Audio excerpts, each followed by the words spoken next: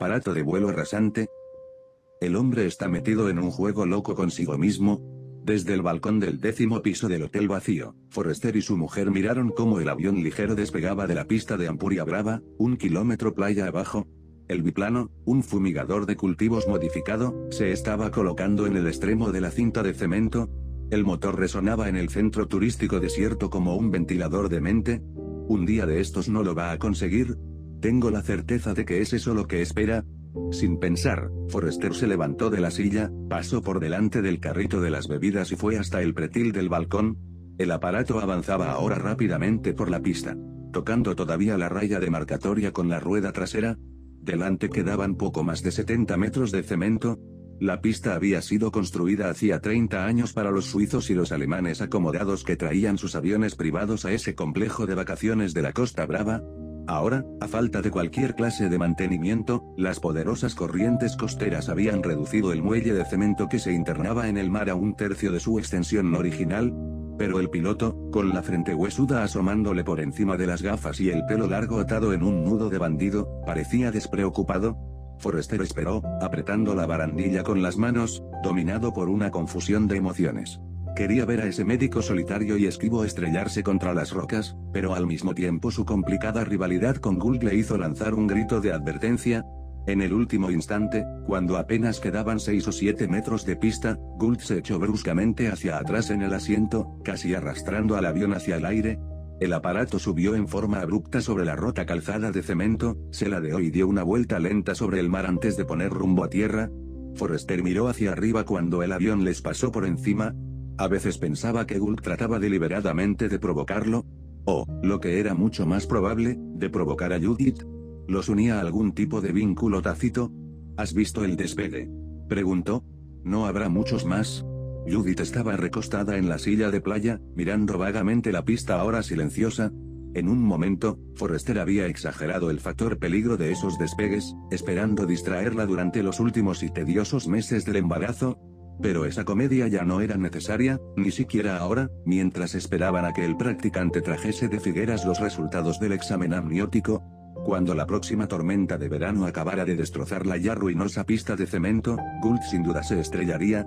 Curiosamente, podría haber evitado todo eso con solo limpiar una parte de cualquiera de los cientos de carreteras abandonadas.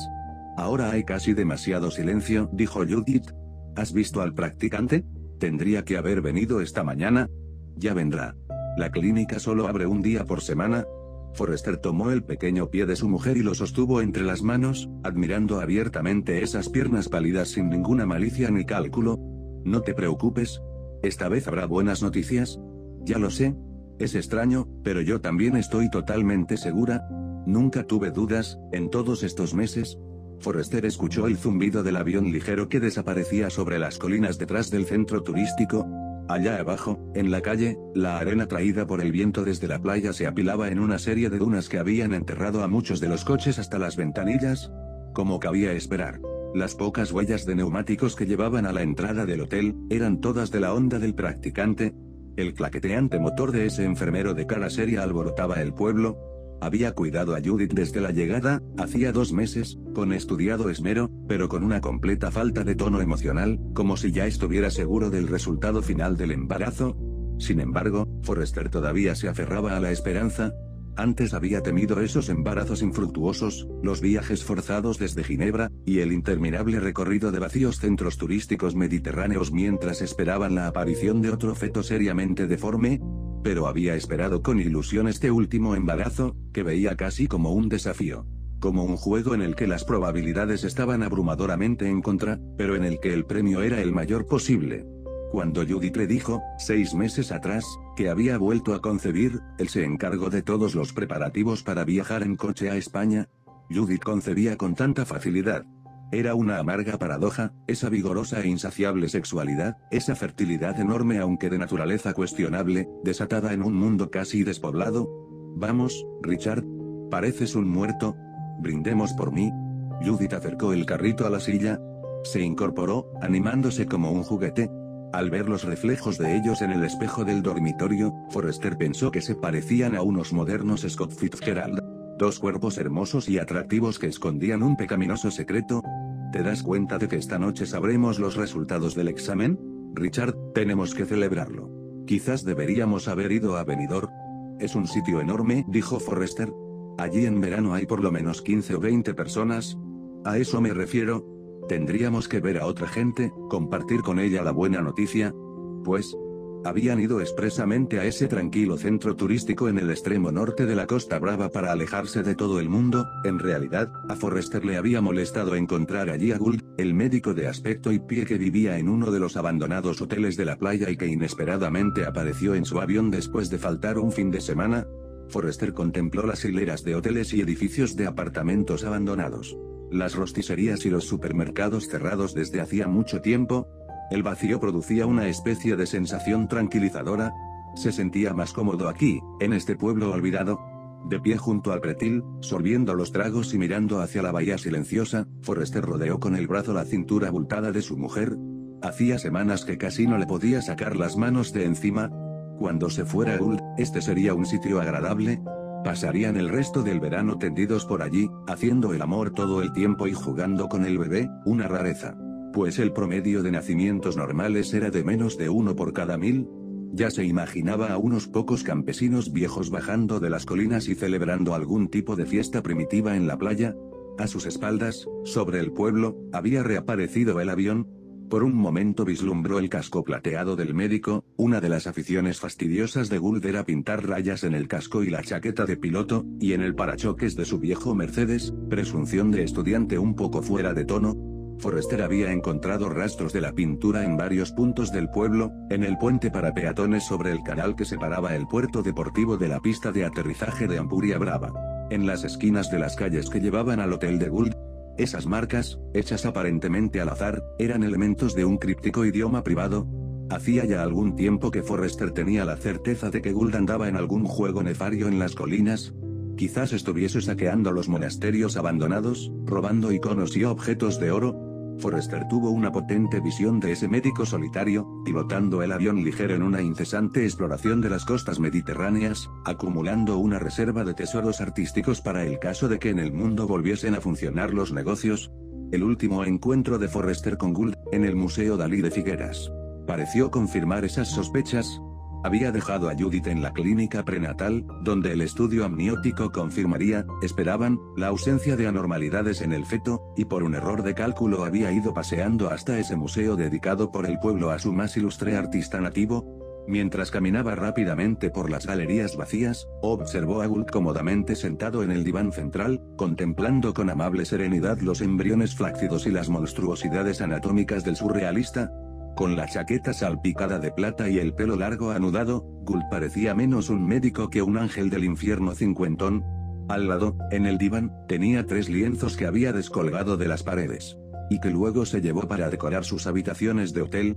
Para mí rayan en la indecencia, comentó Forrester. Toda una colección de noticiarios del infierno. Sí, una inteligente conjetura sobre el futuro, coincidió Gould. La distopía última es el interior de nuestra propia cabeza, Mientras salían del museo, Forrester dijo, el bebé de Judith nacerá en unas tres semanas. Pensamos si usted querría atenderla. Gould no respondió. Cambió los lienzos de un brazo al otro y miró los árboles de la rambla desierta arrugando el entrecejo. Sus ojos parecían estar esperando algo. Forrester notó, y no por primera vez, lo cansado que estaba el hombre, el nerviosismo que dominaba esas facciones huesudas. ¿Y qué me dice del practicante? Tal vez esté más capacitado que yo. Yo no pensaba tanto en el nacimiento como en... ¿En la muerte? Bueno. Perturbado por el tono combativo de Gould, Forrester buscó en su sortido de eufemismos. Estamos muy esperanzados, por supuesto, pero tenemos que aprender a ser realistas. En ese sentido, son ustedes admirables. Ante uno de los posibles resultados, creo que Judith preferiría que se ocupara usted. Gould movía afirmativamente la cabeza, con aire de sabiduría. Miró bruscamente a Forrester, ¿Por qué no conservar el niño? Sea cual sea el resultado. Esto había impresionado de veras a Forrester. Sorprendido por la agresión del médico, vio cómo daba media vuelta y se marchaba con un gesto desagradable, las pinturas chillonas bajo el brazo, regresando a zancadas a Mercedes. Judith estaba dormida en la habitación. Forrester le sacó de la floja palma de la mano los Valiums que no había tomado por estar demasiado cansada. Los puso de nuevo en el frasco y luego se sentó con poca firmeza en la cama, Durante la última hora había estado bebiendo solo en el balcón, al sol, en parte por aburrimiento. La escala temporal del embarazo humano era un gran error evolutivo, decidió, y en parte a causa de confusos miedos y esperanzas. ¿Dónde demonios estaba el practicante? Forrester caminó otra vez hasta el balcón, y escudriñó la carretera que iba hacia Figueras, pasando por delante de los abandonados clubes nocturnos y las oficinas de alquiler de lanchas. El avión se había marchado, desapareciendo entre los montes. Mientras examinaba la pista de aterrizaje, Forrester descubrió la figura de una joven vestida de negro en la puerta del hangar de Gould, Varias veces la había visto rondar por allí, y reconocía abiertamente que sentía una ligera punzada de envidia por la presunta relación sexual que existía entre ella y Gould. Había algo de sigiloso en esa relación que lo intrigaba. Cuidando de no moverse, esperó a que la joven saliese al sol. Gracias al alcohol, y a una monogamia escrupulosa en exceso. Sentía que ya se le abultaba la entrepierna, Pese a su necesidad de estar solo, la idea de que había otra joven a menos de un kilómetro de distancia casi hacía descarrilar la mente de Forrester. Cinco minutos más tarde volvió a ver a la chica, de pie en el techo de observación del club náutico, mirando hacia tierra adentro, como si estuviese esperando el regreso del avión plateado de Gould. Cuando Forrester salió de la suite, su mujer todavía dormía. Ahora solo funcionaban dos de las suites del décimo piso, las demás habitaciones tenían cerradas puertas y ventanas, cápsulas de tiempo que albergaban una carga melancólica, los aerosoles, irrigadores, horquillas y tubos de crema solar dejados por los miles de turistas desaparecidos, el ascensor de servicio, impulsado por un pequeño motor de gasolina instalado en el sótano, lo llevó hasta el vestíbulo. Ahora no había corriente eléctrica para hacer funcionar el sistema de aire acondicionado, pero el hotel estaba fresco, en los dos sillones de mimbre colocados junto a la escalera, debajo del estante de las tarjetas postales con descascaradas vistas veraniegas de rosas en su época de apogeo turístico, estaban sentados el gerente, un hombre mayor, y su mujer, el señor Cervera había sido linotipista de un diario de Barcelona durante los años en que había empezado a manifestarse el descenso demográfico. Y seguía siendo una mina de información sobre decadencia mundial. La señora Forrester duerme. Si llega el practicante, dígale que suba, Ojalá haya buenas noticias. ¿Ustedes han esperado mucho tiempo? Si las hay, esta noche lo celebraremos, por supuesto. Judith quiere abrir todos los clubes nocturnos. Forrester salió al sol y trepó a la primera de las dunas que cubrían la calle. Se detuvo en el techo de un coche sumergido y miró la hilera de hoteles vacíos.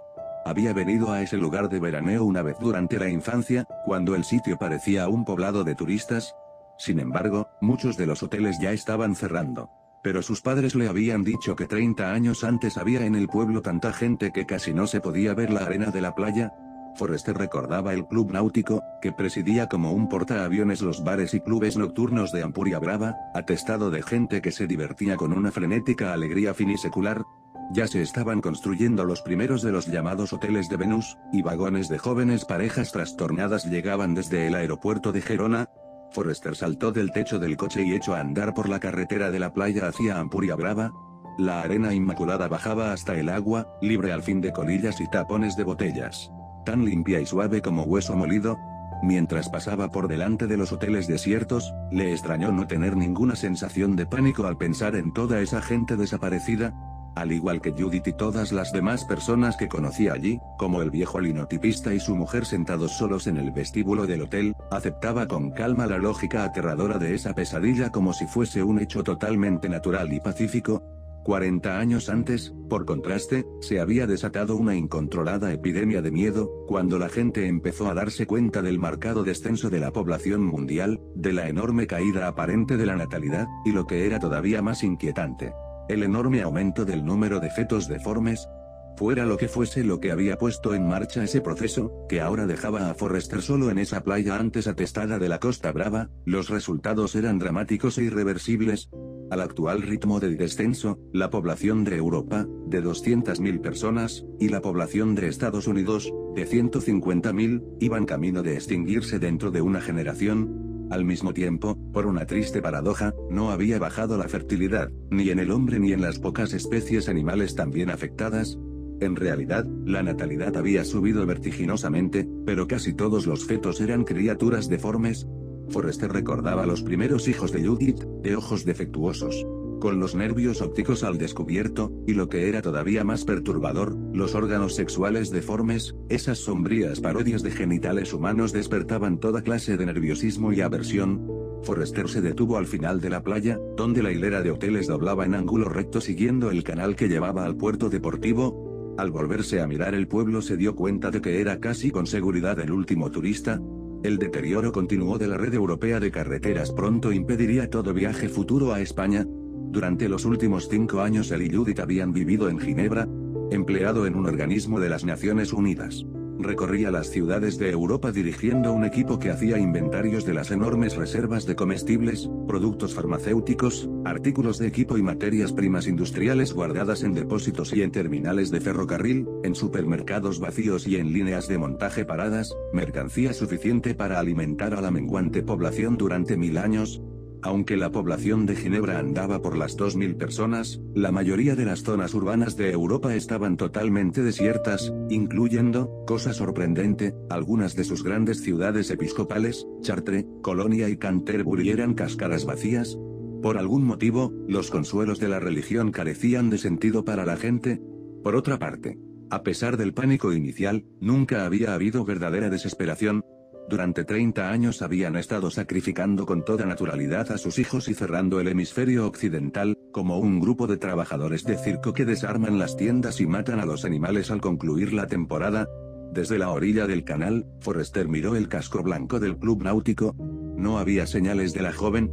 A sus espaldas, frente a la pista de aterrizaje, estaba un restaurante de carretera, abandonado desde hacía algunos años, por las ventanas manchadas de sal, vio las hileras de botellas alineadas contra el espejo detrás de la barra. Las sillas apiladas sobre las mesas. Forrester empujó la puerta. El interior del restaurante era como un cuadro vivo de museo. Nada había sido cambiado de sitio durante años. A pesar de que la puerta estaba sin llave, no había habido allí ningún tipo de vandalismo, las huellas visibles en la arena fina que cubría el piso indicaban que a lo largo de los años algunos viajeros de paso habían entrado a refrescarse en el bar y se habían ido sin hacer daño. Eso mismo ocurría en todos los sitios que había visitado Forrester. Habían desocupado 100 ciudades y aeropuertos como si quisieran dejarlos en condiciones para sus sucesores. El aire en el restaurante era viciado pero fresco. Sentado detrás de la barra, Forrester sacó una botella de fundador y se puso a beber tranquilamente mientras esperaba a que reapareciera la joven. Al mirar por encima del canal descubrió que Gould había pintado dos líneas continuas de un plateado fluorescente en las planchas metálicas y en el pasamanos de alambre del puente peatonal. Desde la puerta vio las mismas líneas atravesando la calle y subiendo por los escalones hasta el hotel de Gould, donde desaparecían en el vestíbulo, en la calle, tambaleándose un poco, Forrester miró arrugando el entrecejo la chillona fachada del hotel. Que había sido diseñada en un estilo griego toscamente erótico. Cariátides desnudas de tres pisos de altura sostenían un falso pórtico adornado con sátiros y ninfas. De todos los hoteles vacíos que había en Rosas, ¿por qué Gould habría elegido vivir en ese? En el sector donde estaba, que equivalía al barrio chino de la ciudad, el hotel formaba parte de un grupo conocido en todo el mundo con el eufemismo de los hoteles de Venus, pero al que Judith llamaba, más acertadamente, los hoteles del sexo, de Waikiki a Glyfada Beach, de Río Arrecife, esos complejos hoteleros habían crecido rápidamente en los primeros años de la crisis de despoblación, los habían ocupado torrentes de turistas subvencionados por los gobiernos, incitados a participar en una última y frenética fiesta de la erotomanía. En un equivocado esfuerzo por reavivar la fertilidad, se había alentado todo tipo imaginable de actividad sexual pervertida. La decoración pornográfica de los hoteles, vestíbulos atiborrados de aparatos, incesantes películas de sexo mostradas en circuito cerrado de televisión, reflejaban para todos una triste certeza, la de que el sexo ya no importaba, el sentido de obligación hacia una generación futura, por residual que fuese, ya no estaba presente. En todo caso, la verdadera obscenidad era ahora lo normal. En el vestíbulo de uno de esos hoteles, Forrester y Judith se habían topado con la imagen pornográfica más siniestra de todas, la fotografía de un bebé sano, obscenamente retocado, Judith y su marido habían sido demasiado jóvenes para participar en esas desesperadas orgías, y cuando se casaron había habido una reacción general contra toda forma de sexo perverso. Volvieron a imperar la castidad y el amor romántico. El celibato premarital y todas las restricciones de la monogamia, Mientras las poblaciones del mundo seguían disminuyendo, las últimas parejas casadas permanecían sentadas sumisamente juntas como personajes de un interior de Vermeer, Y en todo ese tiempo, el impulso sexual no había disminuido. Forrester caminó al sol ardiente, tambaleándose, sintiendo la oleada del alcohol. En alguna parte del hangar, al lado de la pista de aterrizaje, lo esperaba la joven, quizás mirándolo en ese mismo momento desde el interior oscuro. Ella sabía, desde luego, lo que él pensaba. Y casi daba la impresión de que lo alentaba con el coqueteo de esas breves apariciones. Forrester caminó hasta el puente, a sus espaldas quedaba en silencio la hilera de hoteles chillones, un escenario diseñado solo para esa aventura. Los peldaños metálicos del puente resonaron suavemente bajo sus pies. Golpeándolos como si fueran teclas de un xilófono, Forrester tropezó contra la barandilla, y se manchó las manos con la raya de pintura plateada todavía fresca. Sin pensar, se las limpió en la camisa, las rayas de pintura fluorescente continuaban a lo largo del puente, y se retorcían atravesando los coches abandonados en el parque de estacionamiento al lado de la pista. Siguiendo el iluminado sendero de Gould, Forrester atravesó el canal. Cuando llegó al depósito de combustible, vio que la joven había salido del hangar. Estaba en la entrada, los pies bien visibles dentro del rectángulo de sol, el rostro inteligente, pero de rasgos algo mongoloides, estaba oculto como siempre detrás de unas gafas negras, una barbilla corta y una frente alta rematada por delante en un carapacho de cristal oscuro. A pesar de ese ocultamiento, Forrester estaba seguro de que ella había contado con su llegada, más aún, que había estado esperando su aparición, la mujer movía las manos dentro del chal negro como una colegiala, sin duda se daba cuenta de que él era el único hombre que había en el centro turístico, aparte de Gould, que se había ido en uno de sus interminables vuelos solitarios, y el viejo linotipista. El sudor brotaba de la piel de Forrester, cubriéndole la frente como un pellejo ardiente. Se lo enjugó con las manos junto al surtidor de combustible. La joven pareció responder a esos ademanes. Sacó las manos del chal y las movió ajustándose a un complejo código, un semáforo que hacía señales invitando a Forrester. Él respondió volviéndose a tocar la cara, sin hacer caso de la pintura plateada que tenía en las manos, como para congraciarse, se untó las mejillas y la nariz, y se extendió las pegajosas manchas metálicas por la boca. Cuando llegó junto a la joven y le tocó el hombro, ella miró con repentina alarma esos contornos luminosos. Como si acabara de comprender que se había equivocado de persona al componer la figura de un hombre con esos fragmentos pintados, las manos, el pecho y las facciones de Forrester. Demasiado tarde, se dejó meter marcha atrás en la oscuridad del hangar, las gafas de sol se le cayeron de las manos y se estrellaron contra el suelo. El luminoso rostro de Forrester alumbraba como una máscara cromada desde las ventanas de la oficina. Miró a la joven ciega que buscaba a tientas las gafas de sol, delante de sus pies, tratando de ocultar los ojos con una mano. Entonces oyó el zumbido de un avión ligero que volaba por encima del pueblo. El aparato de Gull dio una vuelta sobre el club náutico. Los paneles del fuselaje plateado reflejaron el sol como un espejo facetado, Forrester se apartó de la joven apoyada en la pared trasera del hangar, que volvía a tener sobre la cara las gafas de lentes fracturadas. Salió a la luz de la tarde y corrió atravesando la pista mientras el avión se acercaba para aterrizar. Dos horas más tarde, después de recorrer las calles desiertas hasta el hotel, encontró al señor Cervera subido a la duna que había delante de la escalera y protegiéndose los ojos con las manos.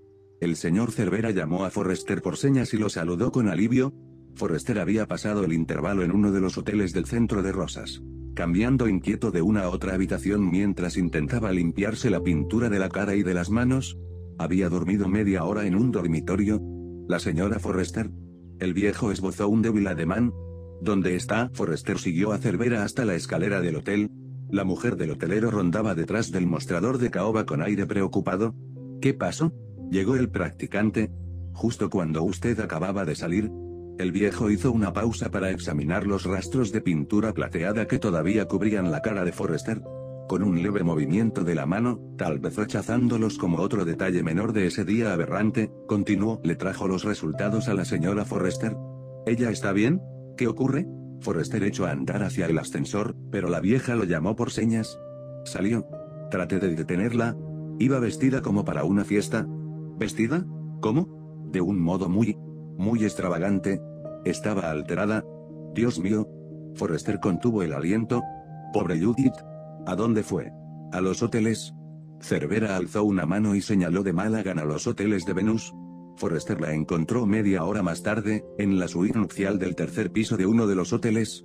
Mientras él corría por la calle del canal, gritando el nombre de Judith, Gould caminaba despacio por el puente peatonal, con el casco de piloto en una mano. La oscura figura de la joven, las lentes de las gafas fracturadas como soles negros, lo seguía con pasos de ciega saliendo de la puerta del hangar y avanzando con él por el pasillo pintado. Cuando por fin oí o el grito de Judith, Forrester entró en el hotel. La descubrió en la suite principal del tercer piso, tendida en la cama nupcial rodeada de los obscenos murales y bajorrelieves. Estaba acostada sobre la polvorienta colcha del lame, vestida como una prostituta con prendas de su propio guardarropa. Como una cortesana borracha en las últimas horas de un embarazo, miró a Forrester con ojos vidriosos, como si no quisiera reconocerlo.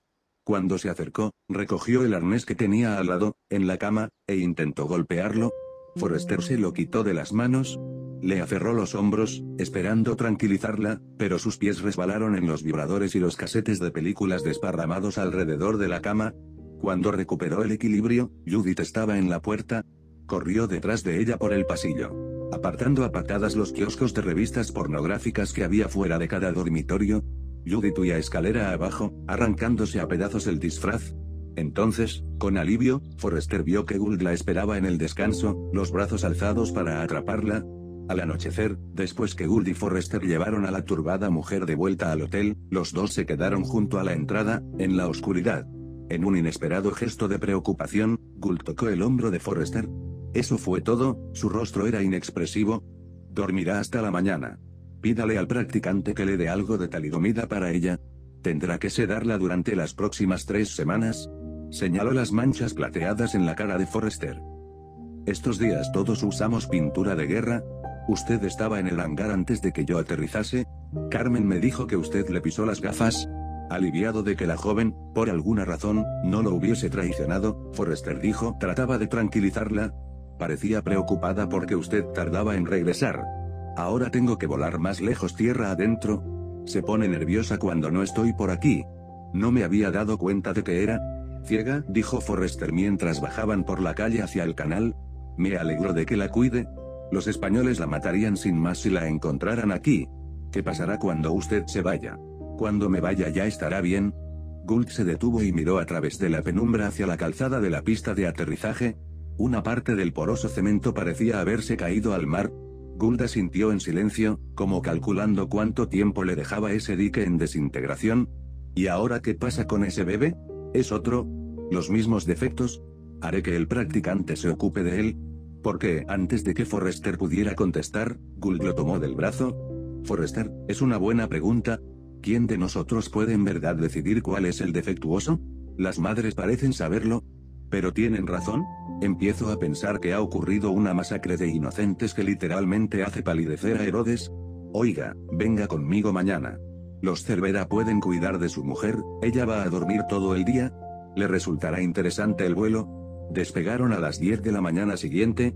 Sentado en la carlinga delantera, con la corriente de aire de la hélice en la cara, Forrester estaba convencido de que se estrellarían. Acelerando al máximo, avanzaron rápidamente por la pista, en la que ya se veían los nuevos bloques de cemento rotos. Forrester miró por encima del hombro, esperando que Gould consiguiese de algún modo detener el aparato antes de matarse, pero la cara del médico estaba oculta detrás de las gafas. Como si no tuviera conciencia del peligro, en el último momento, cuando la catarata de bloques de cemento estaba casi debajo de las ruedas, Gould tiró de la palanca de mando. El pequeño avión se elevó bruscamente, como arrojado al aire por una mano gigantesca. Treinta segundos más tarde, Forrester empezó a respirar. El aparato se enderezó, y giraron hacia la izquierda y dieron una vuelta sobre el pueblo vacío. Gould ya estaba señalando con una mano enguantada las manchas de pintura fosforescente en las colinas encima de Rosas, antes del despegue, mientras Forrester estaba incómodamente sentado en la carlinga, preguntándose por qué habría aceptado ese desafío. La joven había llevado un bidón de líquido hasta el avión. Gould bombeó el contenido en el tanque que Forrester tenía debajo de los pies. Mientras él esperaba, la joven caminó hasta la carlinga y miró a Forrester, escudriñándole el rostro. Había algo grotesco, casi cómico, en esa chica mongoloide que contemplaba el mundo con su inexistente visión a través de esas gafas agrietadas, Quizás estaba decepcionada porque él había perdido interés en ella. Forrester volvió la cara, apartándose de la mirada ciega, y pensó en Judith dormida en la oscurecida habitación de hotel, y en el pequeño y molesto inquilino de su cuerpo. 300 metros por debajo de ellos había un ancho valle que conducía tierra adentro. Hacia las estribaciones de los Pirineos, la hilera de montañas bajas señalaba la muralla norte de la llanura de Lampurdán, una rica zona agrícola donde aún ahora había pequeñas zonas de cultivo, pero todo el ganado había desaparecido, sacrificado hacía años. Mientras seguían el curso del valle, Forrester vio que algunas zonas de los senderos y caminos de las granjas habían sido rociadas con pintura fosforescente, unos paneles de plata surcaban los lados del valle, así que era eso lo que había estado haciendo Gould en sus vuelos, pintando zonas de las laderas de las montañas en un inmenso despliegue pop art. El médico señalaba con la mano hacia el fondo del valle, donde un pequeño novillo peludo, parecido a un bisonte en miniatura, se alzaba aparentemente aturdido sobre un promontorio aislado, Gould redujo la potencia del motor, ladeó el avión y voló a poca altura sobre el suelo del valle, a menos de 10 metros por encima de la criatura. Forrester se estaba preguntando cómo esa criatura ciega, evidentemente mutante, había conseguido sobrevivir, cuando sintió debajo una repentina sacudida.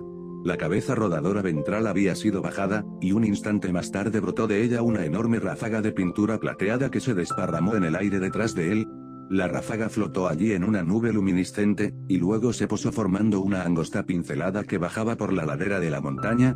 Gull retiró la cabeza rociadora y subió a pico. Dando una vuelta alrededor del valle, aceleró el motor y descendió en picada sobre la cabeza del novillo, haciéndole dejar el promontorio y bajar por la ladera de la montaña. Mientras tropezaba a derecha e izquierda, incapaz de orientarse, el animal atravesó el sendero de plata, Enseguida recuperó el paso firme y echó a andar al trote rápido por ese camino privado. Durante la hora siguiente volaron sobre el valle, y Forrester vio que esas líneas de pintura rociadas desde el aire eran parte de una intrincada serie de rastros que llevaban a la seguridad de las montañas.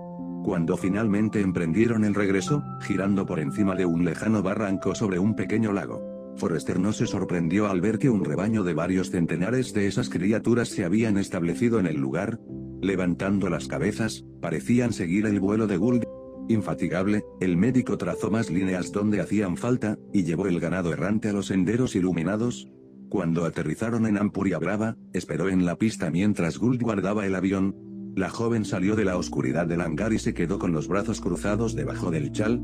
Forrester notó que los costados del fuselaje y del plano de cola del aparato eran de un plateado brillante, bañados por el rocío metálico dentro del que habían dado interminables vueltas, el traje de piloto y el casco de Gould, y la cara y los hombros le brillaban como espejos. Como si acabaran de bajar del sol. Curiosamente, solo los ojos, protegidos por las gafas, estaban libres de pintura, órbitas oscuras que la joven miraba con la esperanza de encontrar a alguien de su propia especie. Gould la saludó y le dio el casco. Se quitó el traje de piloto e hizo entrar a la muchacha en el hangar. Señaló hacia el otro lado del canal.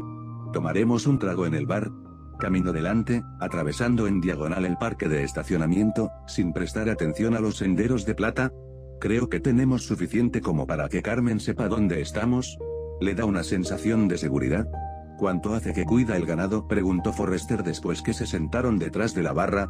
Desde el invierno. De algún modo. Un rebaño escapó de los machetes de los granjeros, Mientras volaba desde Perpiñán por el Col d'Ipertis, descubrí que los animales seguían al avión, en algún sentido me veían, utilizando una parte diferente del espectro electromagnético. Entonces me di cuenta de que había rociado el aparato con un poco de vieja pintura reflectante, un material muy fosforescente. Pero ¿para qué salvarlos?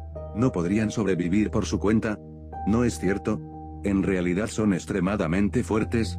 Cuando llegue el próximo invierno sabrán correr más rápido y pensar mejor que todo lo demás en esta zona. Como Carmen, que es una chica muy inteligente, ha logrado mantenerse durante años sin ver nada. Cuando empecé a ponerme toda esta pintura, creo que fui la primera persona que ella había visto. Forrester volvió a pensar en el bebé de Judith, y meneó la cabeza. Me parece mogólica, con esa frente abultada. Se equivoca. He descubierto muchas cosas acerca de ella. Posee una enorme colección de relojes con diales luminosos, cientos de ellos, que durante años ha ido robando de las tiendas, los tiene funcionando a todos al mismo tiempo. Pero puestos en horas diferentes, una especie de computadora gigantesca. Solo Dios sabe para qué mundo hiperiluminado la está preparando la naturaleza, pero creo que no estaremos aquí para verlo. Forrester miró con desagrado su copa de brandy. Por una vez, el fundador le caía mal.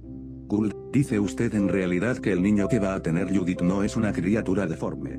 Gulda sintió con aprobación. No es nada deforme, o por lo menos no lo es más que Carmen.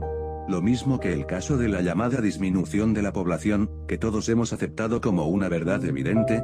En realidad, no ha habido una disminución, excepto en el sentido de que hemos estado matando a nuestra descendencia. En los últimos 50 años el índice de natalidad no ha bajado sino aumentado, antes que Forrester pudiese protestar, continuó, trate por un momento de librarse de los prejuicios, tenemos este incremento de la sexualidad, y una fertilidad sin precedentes. Hasta su mujer ha tenido, ¿cuántos? ¿Siete hijos? ¿Pero por qué? Es evidente que estamos a punto de emprender un inmenso programa de sustitución aunque, lamentablemente, seremos nosotros mismos los sustituidos. Nuestra tarea consiste simplemente en repoblar el mundo con nuestros sucesores, en cuanto a nuestra necesidad de estar solos, este intenso placer de nuestra propia compañía, y la ausencia de todo vestigio de desesperación, supongo que son la manera que tiene la naturaleza de decir adiós. ¿Y la pista de aterrizaje? preguntó Forrester. ¿Es esa su manera de decir adiós? Un mes más tarde, en cuanto Judith se repuso del nacimiento de su hijo, ella y Forrester se fueron de Rosas y regresaron a Ginebra, Después que se despidieron del señor Cervera y de su mujer, Forrester llevó el coche por la carretera de la playa, eran las 11 de la mañana, pero el avión de Gould estaba todavía en la pista. Por algún motivo, el médico se había retrasado. Es un viaje bastante largo. ¿Estarás bien? le preguntó a Judith. Claro que sí. Nunca me sentí mejor. Se acomodó en el asiento. Forrester tuvo la impresión de que había caído una cortina sobre la mente de su mujer, ocultándole todos los recuerdos de los últimos meses. Parecía otra vez tranquila y relajada pero tenía la expresión simpática y fija de una maniquí de escaparate. ¿Le pagaste al practicante? preguntó. ¿Esperan algo extra por...? Forrester miraba las fachadas de los hoteles de Venus. Recordó la noche del parto, y al practicante sacándole el niño a la señora Cervera. El enfermero del barrio había dado por sentado que le encomendarían la tarea de acabar con el bebé, cuando Forrester detuvo al español junto al ascensor, se puso a pensar dónde lo habría matado, en alguna calleja detrás de los hoteles baratos, en la parte trasera del pueblo, o en cualquiera de los millares de habitaciones vacías.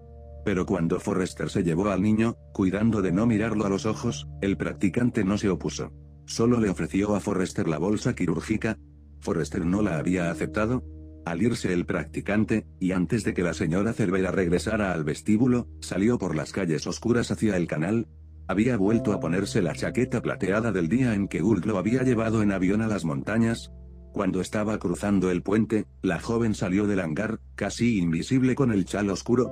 Forrester fue hacia ella, escuchando los débiles murmullos y chasquidos del niño fuerte que llevaba en brazos, lo puso en manos de la mujer y regresó hacia el canal, arrojando la chaqueta mientras corría, mientras pasaban por delante de la hilera de hoteles hacia la carretera de Figueras. Forrester y o el sonido del avión. Gould estaba subiendo a la carlinga, iba a calentar el motor antes del despegue. La verdad es que nunca lo entendí, comentó Judith. ¿Qué hacía en las montañas? No lo sé. ¿Alguna obsesión? Durante una breve tormenta, dos noches antes, se había desmoronado otro sector de la pista, pero Forrester sabía que Gould seguiría volando hasta el fin, llevando el rebaño más y más arriba en las montañas, hasta que esta ayuda dejase de ser necesaria y fuera el momento de despegar por última vez. El astronauta muerto.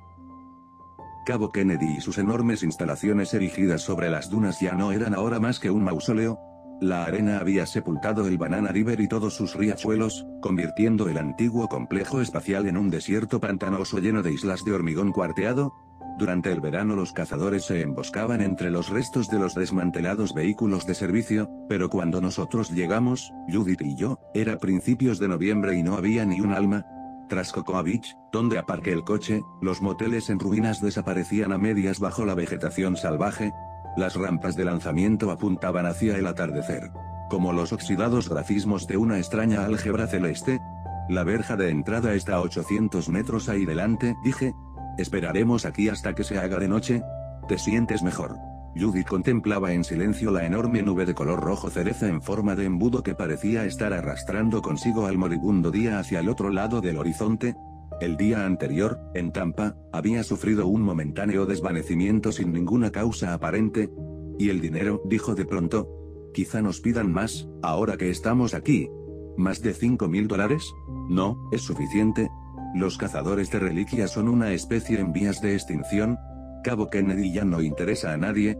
¿Qué te ocurre? Estaba tironeando nerviosamente con sus afilados dedos las solapas de su chaquetón de ante. Bueno, es que, pienso, quizás hubiera tenido que vestirme de negro. ¿Por qué? Esto no es un entierro, Judith. Vamos, hace 20 años que Robert está muerto. Sé lo que representaba para nosotros, pero... Ella miraba fijamente los destrozados neumáticos y los restos de los coches abandonados. Sus ojos claros parecían tranquilos en su tenso rostro, pero es que no lo comprendes, Philip murmuró. Vuelve. Es preciso que alguien esté ahí esperándolo. Los servicios efectuados en su memoria ante el aparato de radio no fueron más que una farsa atroz. ¿Imaginas el shock que hubiera recibido el pastor si Robert le hubiera respondido? Ahora, aquí, tendría que haber todo un comité de recepción esperándole, en lugar de solo nosotros dos en medio de toda esta ruina. Judith dije, con voz más firme. ¿Podría haber un comité de recepción? Si le dijéramos a la NASA lo que sabemos, sus restos serían inhumados en la cripta de la NASA en el cementerio militar de Arlington, habría toda una ceremonia, quizás incluso asistiera el propio presidente. Aún estamos a tiempo. Esperé, pero ella no dijo nada. Miraba con ojos fijos como la verja de entrada se diluía en el cielo nocturno. 15 años antes, cuando el astronauta muerto, girando en órbita en torno a la Tierra en el interior de su calcinada cápsula, fue cayendo lentamente en el olvido. Judith se había erigido en un firme comité de recuerdo. Quizá dentro de algunos días, cuando tuviera por fin entre sus manos los restos de lo que había sido Robert Hamilton, se viera libre por fin de su obsesión. Philip dijo de pronto. Allá arriba. ¿Acaso es? Al oeste, arriba en el cielo, entre Cefeo y Casiopea, un punto luminoso avanzaba hacia nosotros como una estrella errante en busca de su zodiaco. Unos minutos después pasó por encima de nuestras cabezas, una débil baliza parpadeante entre los cirros que coronaban el mar. ¿Lo es, Judith? Le mostré los horarios de trayectorias que había anotado en mi blog. Los cazadores de reliquias calculan mejor las órbitas que cruzan el cielo que cualquier ordenador. Debe hacer años que observan sus pasos. ¿Quién va en ella? Una cosmonauta rusa, Valentina Prokrovna, fue lanzada hace 25 años desde una base de los Urales para instalar un repetidor de televisión. ¿De televisión? Espero que los espectadores hayan disfrutado con los programas. La crueldad de aquella observación, dicha mientras Judith descendía del coche, me hizo pensar de nuevo en las verdaderas razones que habían empujado a Judith a realizar el viaje hasta Cabo Kennedy, Seguí con la mirada la cápsula de la muerta hasta que se desvaneció sobre el Atlántico en sombras, emocionado una vez más ante el trágico, pero sereno espectáculo de aquellos viajeros fantasmas regresando al cabo de tantos años, rechazados por las mareas del espacio. Lo único que conocía de aquella rusa, además de su nombre, era su clave, gaviota. Sin embargo, sin saber exactamente la razón, me sentía contento de estar allí en el momento de su regreso. Judith, por el contrario, no experimentaba nada de aquello, a lo largo de todos aquellos años había permanecido sentada en el jardín, en el frescor del anochecer, demasiado cansada para subir a la habitación y acostarse, sin preocuparse más que de uno solo de los doce astronautas muertos que orbitaban en el cielo. Aguardó, de espaldas al mar, mientras yo metía el coche en un garaje abandonado, a 50 metros de la carretera. Tomé las dos maletas del capó. Una de ellas, la más ligera, contenía nuestras cosas, la otra, forrada interiormente con una chapa metálica, provista de doble asa y con correas de refuerzo, estaba vacía. Avanzamos en dirección a la verja metálica. Como dos viajeros retrasados llegando a una ciudad abandonada desde hace mucho. Hace 20 años que los últimos cohetes abandonaron los silos de lanzamiento de Cabo Kennedy, por aquel entonces la NASA nos había transferido, yo era programador de vuelos, al Gran Complejo Espacial Planetario de Nuevo México, poco después de nuestra llegada conocimos a uno de los astronautas que se entrenaban allí, Robert Hamilton. Han pasado dos decenios desde entonces, y lo único que recuerdo de aquel muchacho exquisitamente educado es su penetrante mirada y su tez albina. Tenía los mismos ojos claros y los mismos cabellos opalinos que Judith, y la misma frialdad de comportamiento. Casi ártica. Intimamos durante apenas seis semanas, Judith se había sentido atraída por él, un capricho pasajero nacido de esas confusas pulsiones sexuales que las mujeres jóvenes y convenientemente educadas expresan de la misma ingenua y típica manera, viéndoles juntos en la piscina o jugando al tenis, no era irritación lo que sentía, sino más bien aprensión ante la idea de que, para ella, todo aquello no era más que una efímera ilusión. Y un año más tarde, Robert Hamilton estaba muerto, había vuelto a Cabo Kennedy para efectuar uno de los últimos lanzamientos militares antes de que el lugar fuera cerrado. Tres horas después del lanzamiento, Su cápsula había entrado en colisión con un meteorito que había averiado irrecuperablemente el sistema de distribución de oxígeno. Vivió todavía cinco horas gracias a su traje. Aunque tranquilos al principio, sus mensajes por radio fueron haciéndose más y más frenéticos hasta convertirse al final en un galimatías incoherente. Ni Judith ni yo fuimos autorizados a escucharlos, una docena de astronautas habían muerto accidentalmente en órbita, y sus cápsulas seguían girando en torno a la Tierra como las estrellas de una nueva constelación. Al principio, Judith no se mostró tan traumatizada, pero más tarde, tras su aborto, la imagen del astronauta muerto girando en el cielo por encima de nuestras cabezas empezó a obsesionarla. Durante horas permanecía con los ojos fijos en el reloj de la habitación, como si estuviera aguardando algo, Cinco años más tarde, cuando presenté mi dimisión de la NASA, acudimos por primera vez a Cabo Kennedy.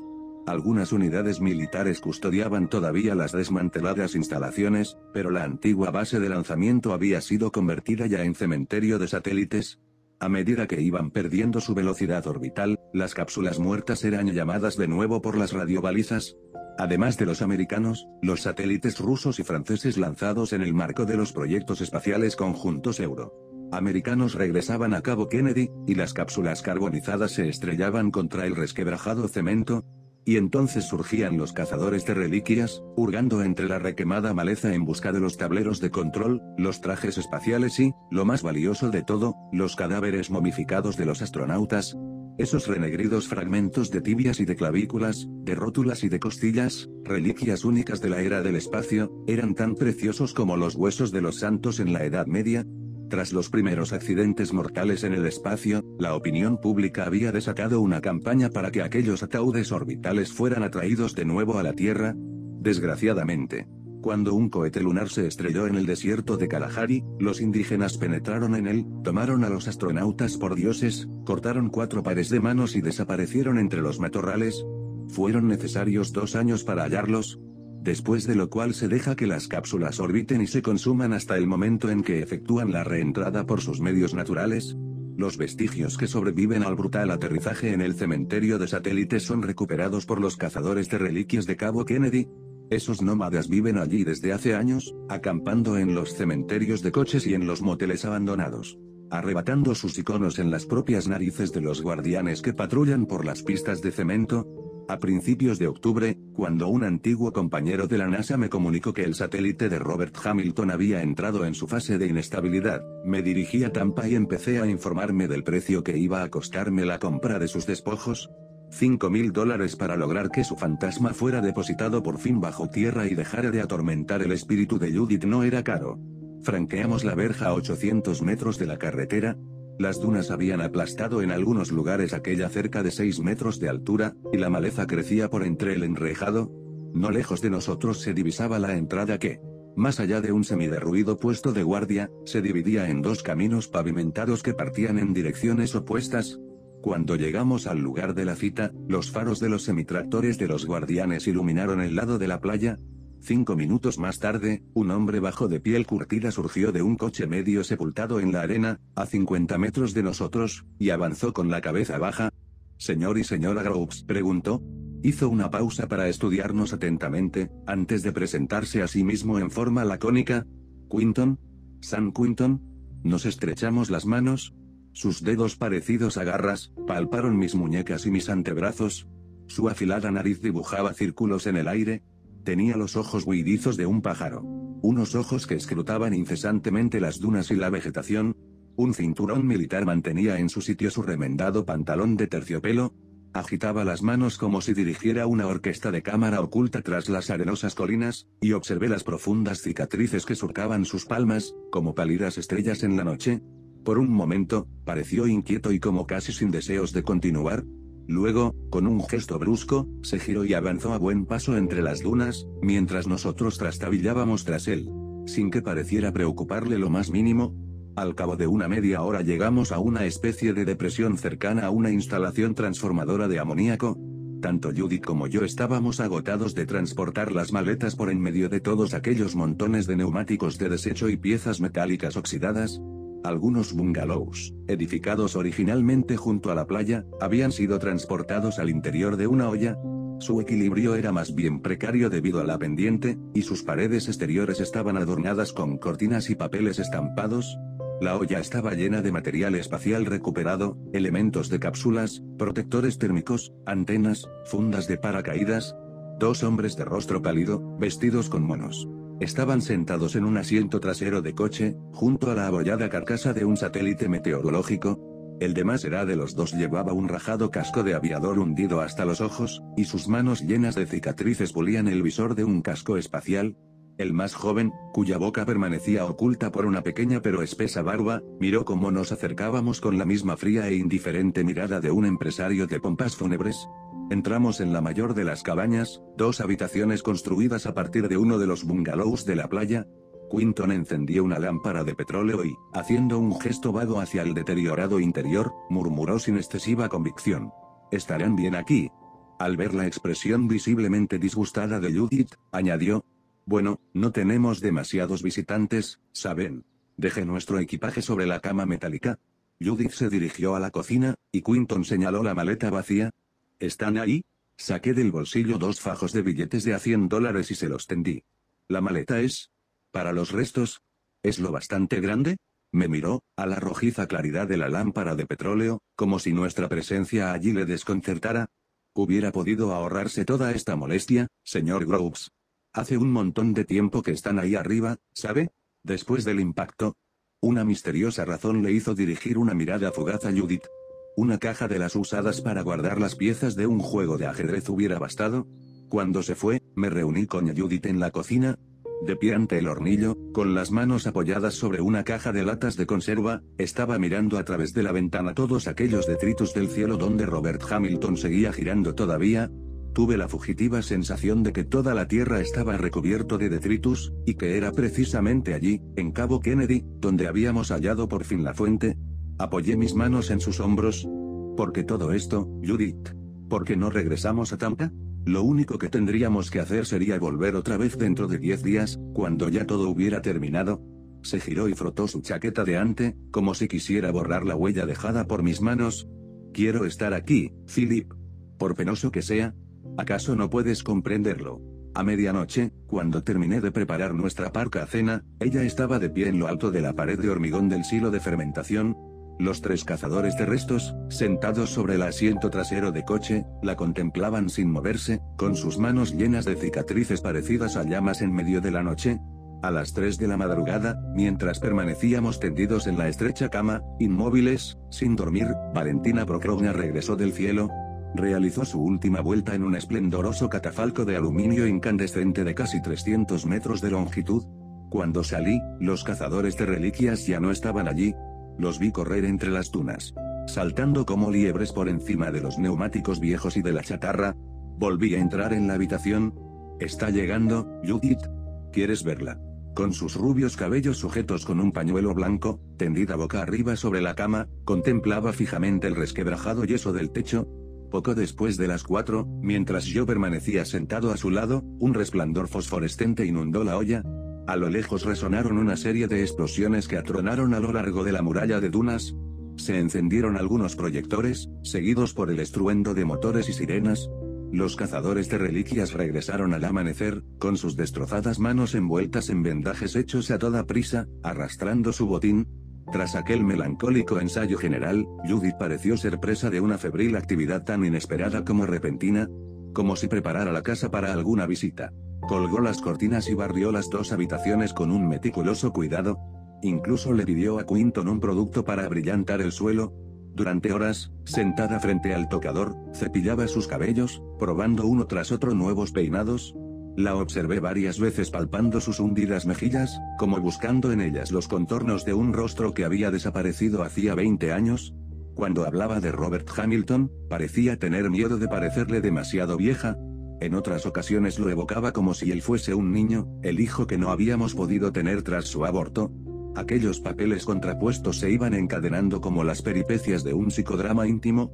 Sin embargo, y sin saberlo, ambos utilizábamos a Robert Hamilton desde hacía años, cada uno por distintas razones personales, esperando su regreso con la certeza de que, después, Judith ya no tendría a nadie más hacia quien volverse excepto a mí, yo esperaba y callaba, Durante todo aquel tiempo, los cazadores de reliquias trabajaban sobre los restos de la cápsula de Valentina Prokrovna, la deformada porcelana térmica, el chasis de la unidad telemétrica, varias cajas de película en las que había quedado registrada la colisión y la muerte de la cosmonauta, si la película estaba intacta, recibirían elevados precios por ellas, los cines clandestinos de Los Ángeles, Londres y Moscú se disputarían aquellas imágenes de violencia y horror que crisparían a sus públicos. Al pasar ante la cabina adyacente a la nuestra, vi un plateado traje espacial desgarrado cuidadosamente extendido sobre dos asientos de coche. Quinton y sus compañeros, con los brazos metidos en las mangas y las perneras de la escafandra, me miraron con una expresión estática en sus ojos. Una hora antes del amanecer fui despertado por el ruido de motores procedentes de la playa. Los tres cazadores de reliquias estaban escondidos tras el silo, con sus crispados rostros iluminados por sus lámparas frontales, un largo convoy de camiones y de semitractores evolucionaba por el área de lanzamiento. Algunos soldados saltaron de sus vehículos y empezaron a descargar tiendas y material. ¿Qué están haciendo? Le pregunté a Quinton. ¿Acaso nos están buscando? El hombre colocó una costurada mano formando visera sobre sus ojos. Es el ejército, dijo con voz insegura. Quizás estén de maniobras. Es la primera vez que veo al ejército aquí. Y Hamilton, murmuré, aferrando su descarnado brazo, ¿Está seguro de qué? Me apartó con un gesto irritado que revelaba su inquietud. Seremos los primeros, no se preocupe. Va a llegar antes de lo que ellos creen. Como profetizara Quinton, Robert Hamilton emprendió su último descenso dos noches más tarde. Lo vimos surgir de entre las estrellas y efectuar su última pasada. Reflejado miles de veces en los cristales de los coches apilados, su cápsula llameó entre la vegetación que nos rodeaba, una difusa estela plateada dejó un fantasmagórico rastro a su paso. Se produjo una repentina y febril actividad en el campamento militar. Los haces luminosos de los faros se entrecruzaron sobre las pistas de hormigón. En contra de la opinión de Quinton, yo había comprendido que no se trataba de maniobras, sino que los soldados estaban allí preparándose para el aterrizaje de la cápsula de Robert Hamilton, una docena de semitractores patrullaban entre las dunas, incendiando los bungalows abandonados y aplastando las viejas carcasas de los automóviles. Equipos especializados reparaban la verja y reemplazaban los elementos de señalización desmantelados por los cazadores de reliquias. Robert Hamilton apareció por última vez un poco después de medianoche, a una elevación de 42 grados noroeste, entre la Lira y Hércules. Judith se levantó de un salto y lanzó un grito. Al mismo instante, un gigantesco dardo de claridad desgarró el cielo. El deslumbrante halo que no dejaba de aumentar de tamaño se precipitaba sobre nosotros como un gigantesco cohete luminoso, mostrando el paisaje hasta sus más mínimos detalles. Señora Groves, Quinton se lanzó sobre Judith, que echaba a correr hacia el satélite en caída libre, y la tiró de bruces al suelo.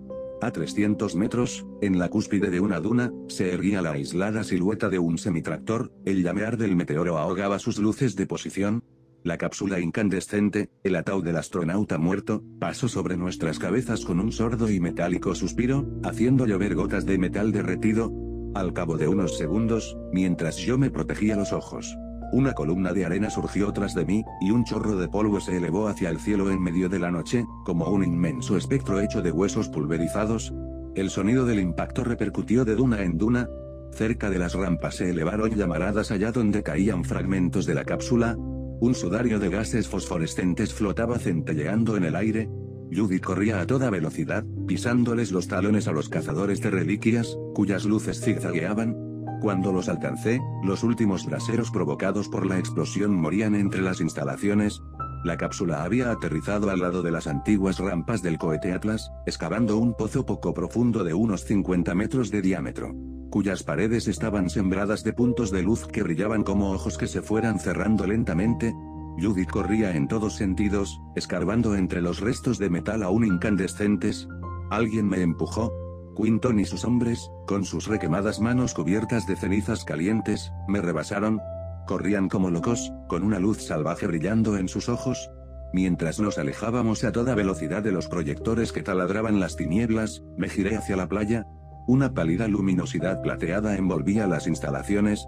Aquella nube resplandeciente fue arrastrada hacia lo lejos, como un fantasma moribundo, en dirección al mar. Al amanecer, mientras los motores gruñían y resoplaban entre las dunas, recogimos los restos de Robert Hamilton. Quinton entró en nuestra casa y me tendió una caja de zapatos. Judith, en la cocina, se secó las manos con un pañuelo. Tomé la caja. ¿Es todo lo que han encontrado? ¿Es todo lo que había? Si quiere puede ir a mirar usted mismo. Está bien. Nos iremos dentro de media hora. Agitó la cabeza. Imposible. Están por todas partes. Si se mueven nos descubrirán. Espero a que yo alzara la tapa de la caja, hizo una mueca, y salió al exterior.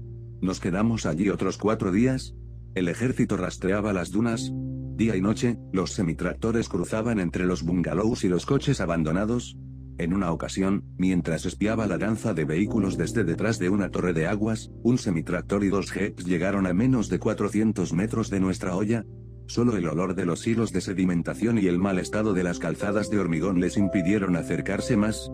Durante todo aquel tiempo, Judith permaneció sentada en la habitación, con la caja de cartón posada sobre su regazo. No decía nada, como si ni yo ni el basurero de Cabo Kennedy le interesáramos ya. Se peinaba con gestos mecánicos, se maquillaba y volvía a maquillarse una y otra vez, incansablemente. Al segundo día, me reuní con ella tras ayudar a Quinton a enterrar sus cabañas en la arena hasta las ventanas. Estaba de pie junto a la mesa. La caja estaba abierta, en medio de la mesa estaban apilados una serie de bastoncillos carbonizados, como si hubiera estado intentando encender un fuego. Comprendí bruscamente que así había sido. Mientras removía las cenizas con sus dedos, vi asomar un fragmento de caja torácica. Una mano y una clavícula. Ella me miró con aire aturdido. Están negros, dijo. La tomé en brazos y la obligué a tenderse en la cama. Me tendí a su lado, Fragmentos de órdenes amplificadas por los altavoces y cuyo eco era retransmitido por las dunas golpeaban contra los cristales. Ahora podemos irnos, dijo Judy cuando la columna de soldados se hubo alejado. Un poco más tarde, cuando ya no haya nadie, dije yo. ¿Qué hacemos con esto? ¿Enterrarlo? En cualquier lugar, ya no tiene importancia. Parecía haber recuperado finalmente la tranquilidad. Me dedicó una breve sonrisa, como admitiendo que aquella macabra comedia por fin había terminado, sin embargo, una vez hube colocado de nuevo los huesos en la caja de zapatos y recuperado las cenizas de Robert Hamilton con ayuda de una cucharilla de postre, tomó de nuevo la caja de cartón y se la llevó a la cocina cuando fue a preparar la cena. La enfermedad apareció al tercer día. Tras una larga y agitada noche, encontré a Judith peinándose ante el espejo. Tenía la boca abierta. Como si sus labios estuvieran impregnados de ácido, cuando se sacudió la falda para eliminar los cabellos que habían caído en ella me sorprendí ante la leprosa blancura de su rostro. Me levanté a duras penas, me dirigí pesadamente a la cocina, y me quedé contemplando el pote lleno de café frío. Sentía un cansancio indefinible, parecía como si mis huesos se hubieran reblandecido, estaba extenuado. Mi cuello y hombros estaban llenos de cabellos.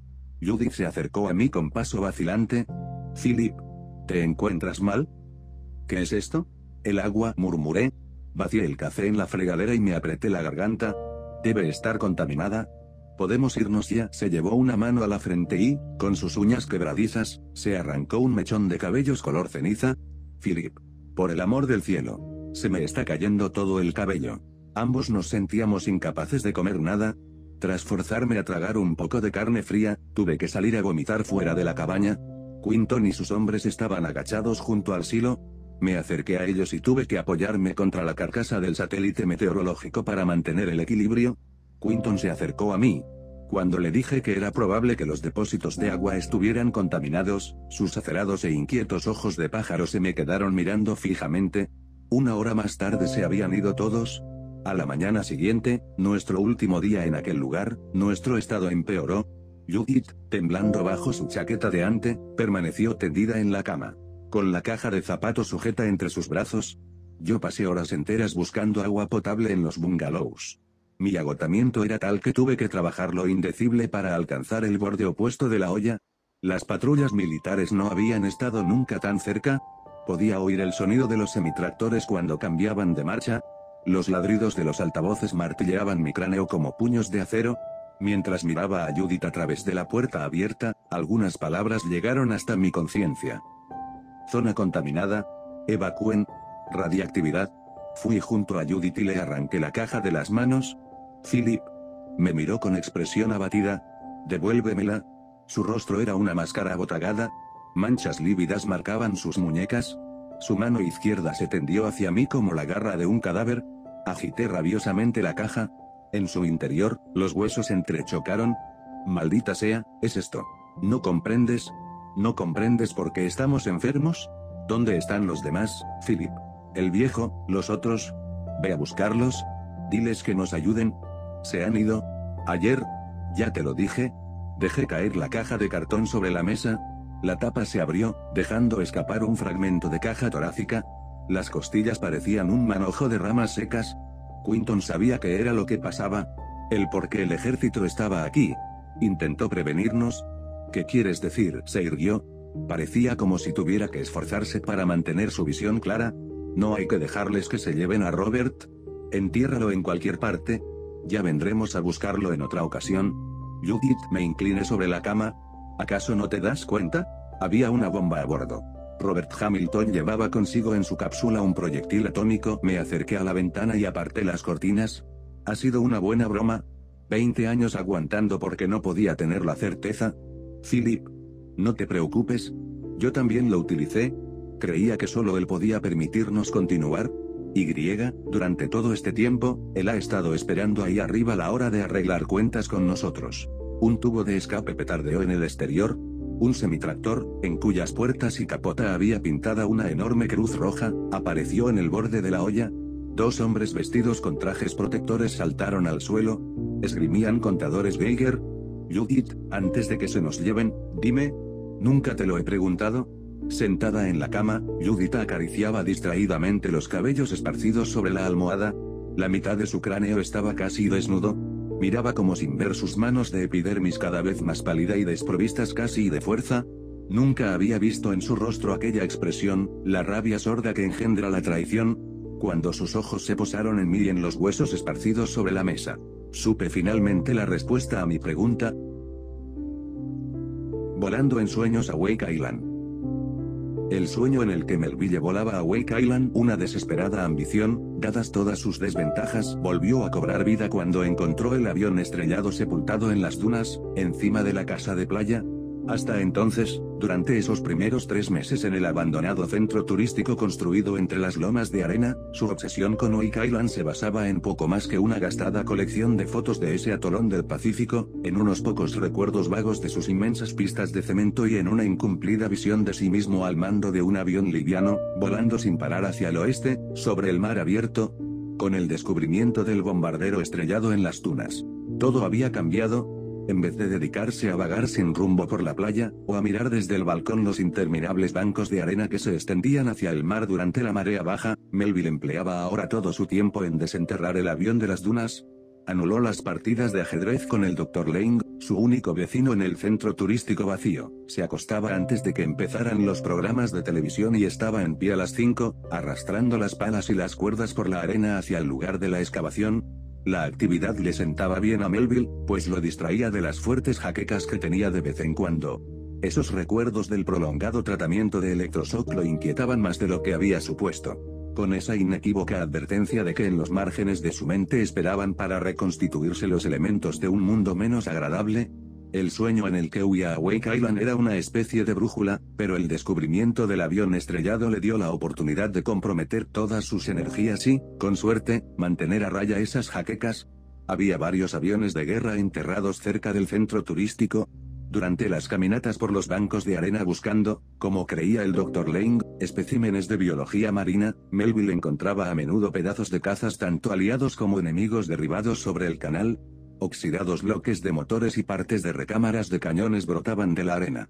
De alguna manera sacados a la superficie por la acción del mar, y luego volvían a hundirse sin dejar rastro, en el verano, durante los fines de semana, algunos cazadores de recuerdos y entusiastas de la Segunda Guerra Mundial revolvían la arena, y de vez en cuando encontraban un motor o un ala completos.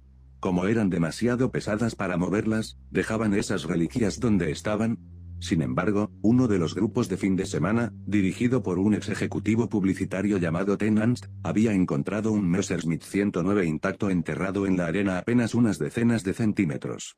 A un kilómetro de distancia, los integrantes del grupo estacionaron los coches deportivos en el fondo del camino debajo de la casa de Melville y partieron con sofisticados gatos y aparejos en una DKW reacondicionada, Melville notó que Tennant era normalmente receloso y reservado con los visitantes que se acercaban al Messerschmitt, pero el publicitario estaba claramente fascinado por ese solitario vecino del centro turístico que se pasaba el tiempo deambulando entre los escombros de la playa.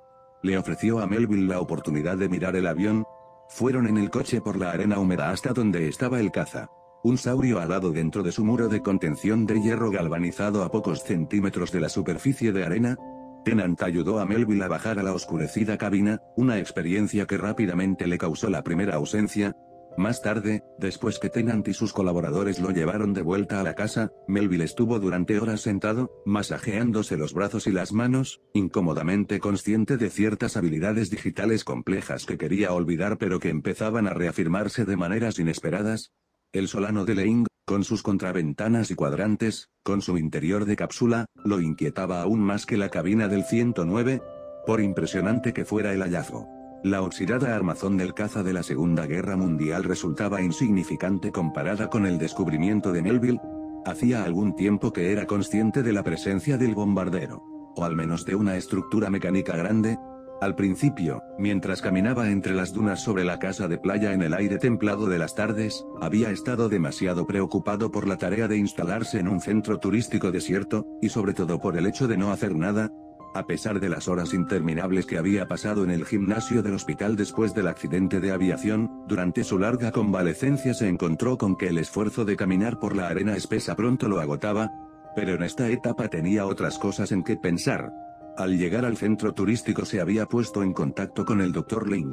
Siguiendo las instrucciones que los encargados de la asistencia postoperatoria en el hospital le habían dado, con la esperanza de que el médico lo siguiese a todas partes, pero no sabía si deliberadamente, Ling no había mostrado un interés especial por Melville, ese expiloto que había aparecido irreflexivamente en el pueblo en un coche de lujo y se movía ahora inquieto por el solario como si anduviera persiguiendo una rata cromada, Link trabajaba en el laboratorio del Consejo de Investigación Científica, a 8 kilómetros de la costa, y valoraba sin duda la intimidad del solario prefabricado que había montado en el banco de arena en el extremo sur del centro turístico. Saludó a Melville sin hacer ningún comentario. Le entregó las llaves de la casa y dejó que se las arreglase por su cuenta. Esta falta de interés fue un alivio para Melville, pero al mismo tiempo hizo que se enfrentara consigo mismo, había llegado con dos maletas, una llena de ropa recién comprada y nada familiar, la otra con las radiografías de la cabeza que le habían sacado en el hospital y las fotografías de Wake Island. Las placas se las pasó al Dr. Lang, que las levantó a la luz y escrutó esos negativos del cráneo de Melville como si fuera a señalar en ellos algún error de construcción. Las fotografías de Wake Island se las devolvió sin ningún comentario, había reunido esas ilustraciones del atolón del Pacífico, con sus enormes pistas de aterrizaje. A lo largo de los meses anteriores, durante su convalecencia en el hospital se había hecho miembro de una sociedad de conservación de la fauna, aparentemente en apoyo de la campaña para salvar de la extinción al albatros de Wake Island, decenas de miles de esos pájaros idiotas anidaban en los extremos de las pistas, y se levantaban en bandadas enormes que atravesaban la trayectoria de los aviones de pasajeros en el momento del despegue, el verdadero interés de Melville había estado en la propia isla, una base aérea de la Segunda Guerra Mundial y ahora punto de reabastecimiento de combustible para los aviones que atravesaban el Pacífico, la combinación de arena sucia y cemento, las casuchas metálicas que se oxidaban junto a las pistas. La completa reducción psicológica de ese paisaje artificial eran para él una verdadera obsesión, poderosa aunque ambigua, a pesar de ese aislamiento árido y oceánico, la Wake Island de la mente de Melville pronto se convirtió en una zona de intensas posibilidades. Soñaba con volar hasta allí en un avión liviano, saltando de isla en isla a través del Pacífico. Sabía que una vez que aterrizase se le irían las jaquecas para siempre. Lo habían licenciado de la Fuerza Aérea en circunstancias confusas y durante su convalecencia después del accidente a los psiquiatras militares les había encantado desempeñar su papel en lo que pronto resultó ser una mal ensayada conspiración de silencio, cuando les dijo que había alquilado una casa a un médico en ese abandonado centro turístico, y que tenía la intención de vivir allí durante un año con los sueldos atrasados, les alivió verlo irse con las radiografías de la cabeza y las fotografías de Wake Island. ¿Pero por qué Wake Island? le preguntó el Dr. Lang en la tercera noche de ajedrez, Señaló las ilustraciones que Melville había sujetado en la chimenea, y los resúmenes técnicos que documentaban generosamente la geología, la cantidad de lluvia, la sismología, la flora y la fauna. ¿Por qué no Guam? O Midway. O la cadena hawaiana. Midway habría estado bien, pero ahora es una base naval. dudo que me hubiesen permitido aterrizar. De todos modos, la atmósfera es mala. Discutir los méritos comparativos de diversas islas del Pacífico siempre estimulaba a Melville, y le alimentaba esa poderosa tendencia a reinventarse sus propias mitologías. Guam tiene 70 kilómetros de largo y está cubierta de montañas y selva espesa, Nueva Guinea en miniatura. Las islas hawaianas son un suburbio costero de Estados Unidos. Solo Wei posee tiempo verdadero. Se crió en el lejano oriente, en Manila. Mi padre tenía allí una empresa textil. Entonces la zona del Pacífico tiene un atractivo especial para usted. Hasta cierto punto. Pero Wake está muy lejos de las Filipinas. Ling nunca preguntaba si Melville había estado realmente en Wake Island. Era evidente que la visión en la que Melville volaba a ese remoto atolón del Pacífico tenía pocas probabilidades de concretarse fuera de su propia cabeza. Pero entonces Melville tuvo la buena suerte de descubrir el avión enterrado en las dunas, cuando la marea subía, cubriendo la arena, Melville se veía obligado a caminar entre las dunas encima de la casa. Empujados y modelados por el viento, los contornos variaban de un día a otro. Pero una tarde Melville notó que una parte de debajo de la cresta era de borde rectilíneo, indicando que debajo de la arena había alguna estructura artificial, tal vez el techo de un granero o de un cobertizo metálico para botes. Fastidiado por el familiar zumbido de un avión monomotor que salía del aeropuerto de aparatos livianos detrás del pueblo, Melville trepó hasta la cresta por la arena cada vez más suelta y se sentó en el saliente horizontal que corría entre las matas herbosas. El avión, un Cessna de propiedad privada, voló desde el mar directamente hacia él, se ladeó abruptamente y dio una vuelta allí arriba.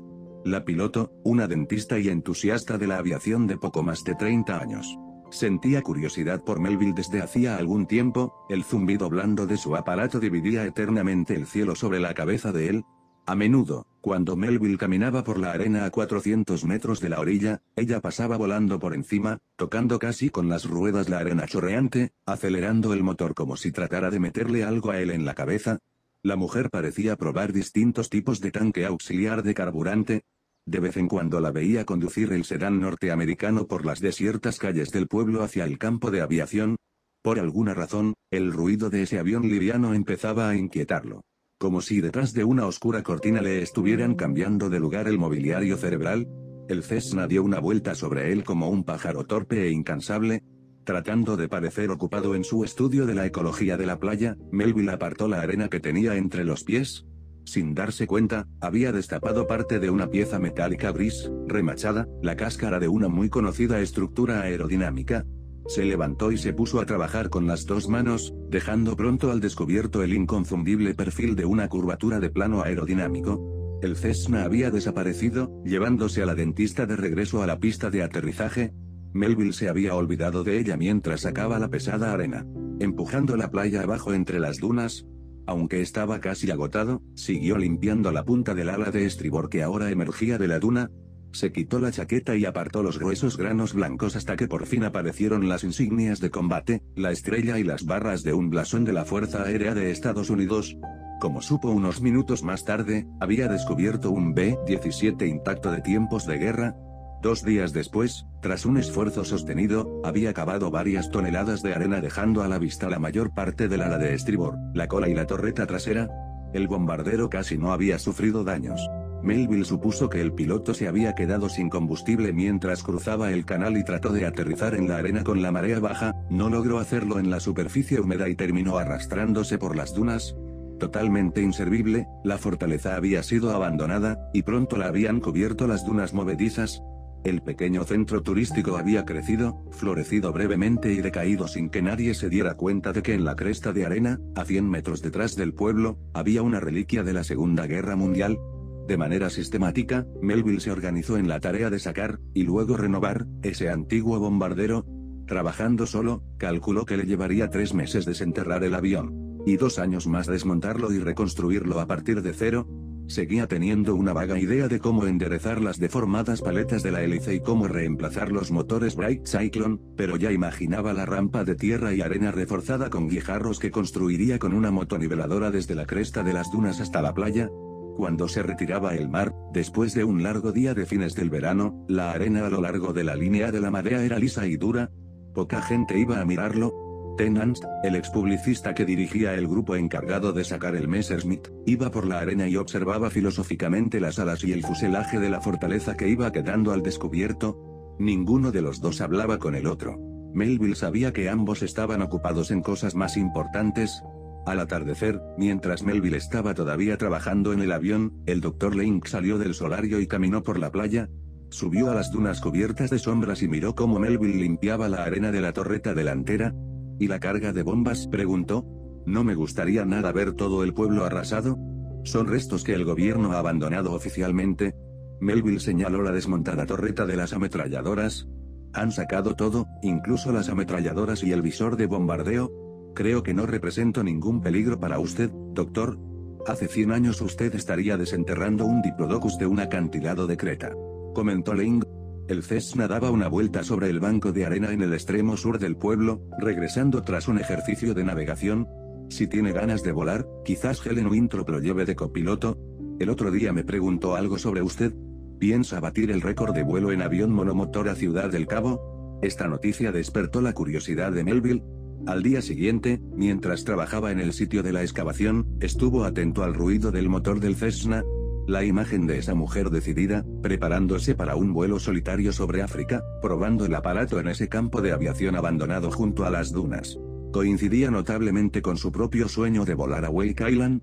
Sabía muy bien que la vieja fortaleza que laboriosamente desenterraba de las dunas no saldría nunca de su percha sobre la cresta, y mucho menos despegaría de la playa.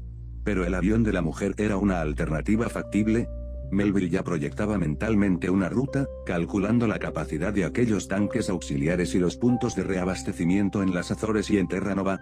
Temiendo que ella pudiera irse sin él, decidió abordarla directamente.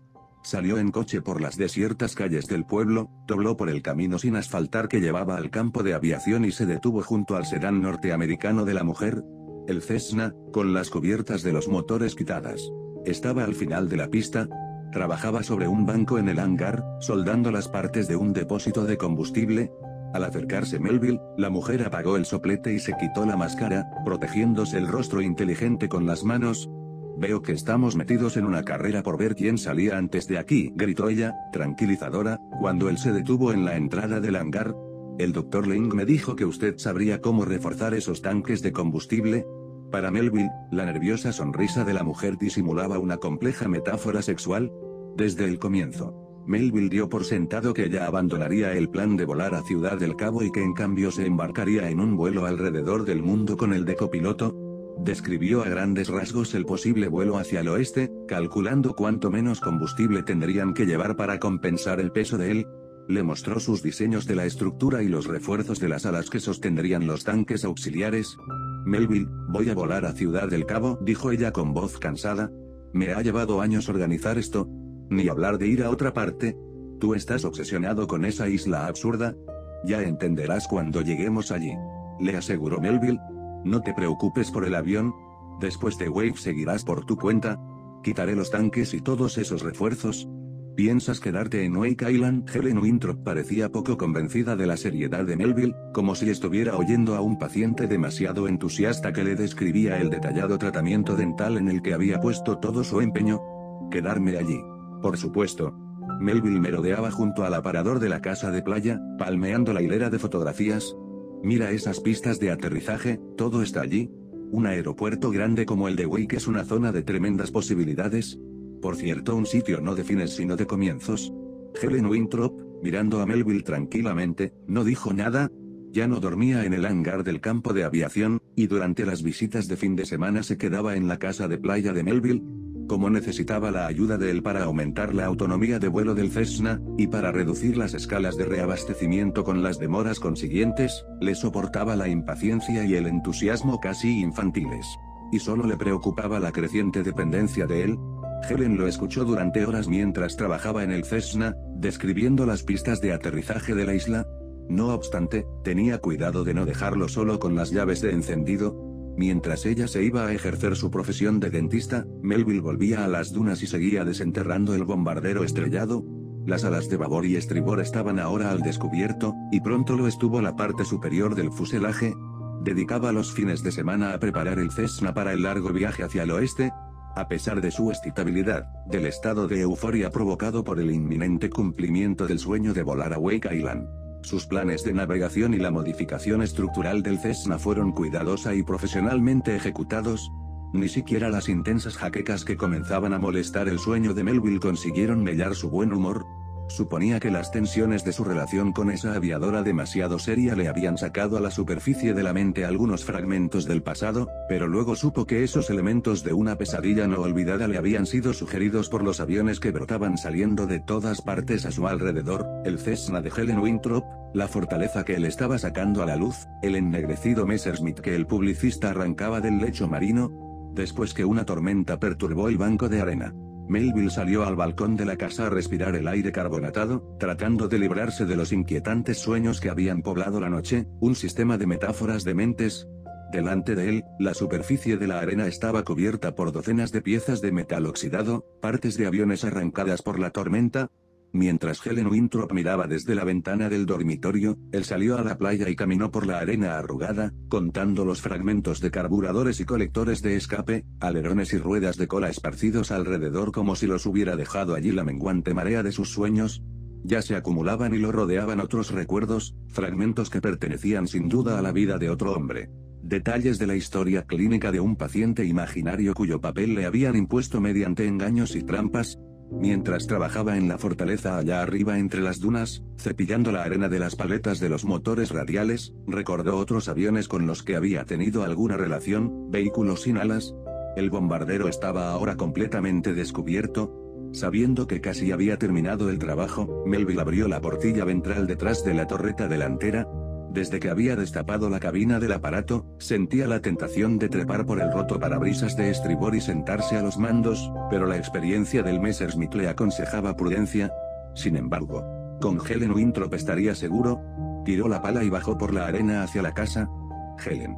Ven aquí, señaló con orgullo el avión destapado sobre la cresta, apoyado sobre la barriga como si estuviera en la punta de una rampa de despegue, Mientras Helen trataba de calmarlo, él la llevó cuesta arriba por las movedizas pendientes, aferrándose a la cuerda.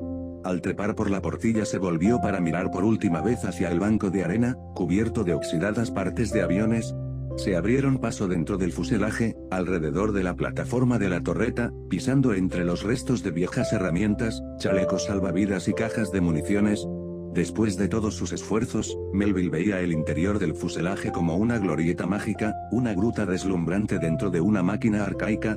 Sentado junto a Helen en la cabina. Contento de tenerla con él como la tendría cuando volaran a través del Pacífico, le mostró los mandos, moviendo los aceleradores y los volantes.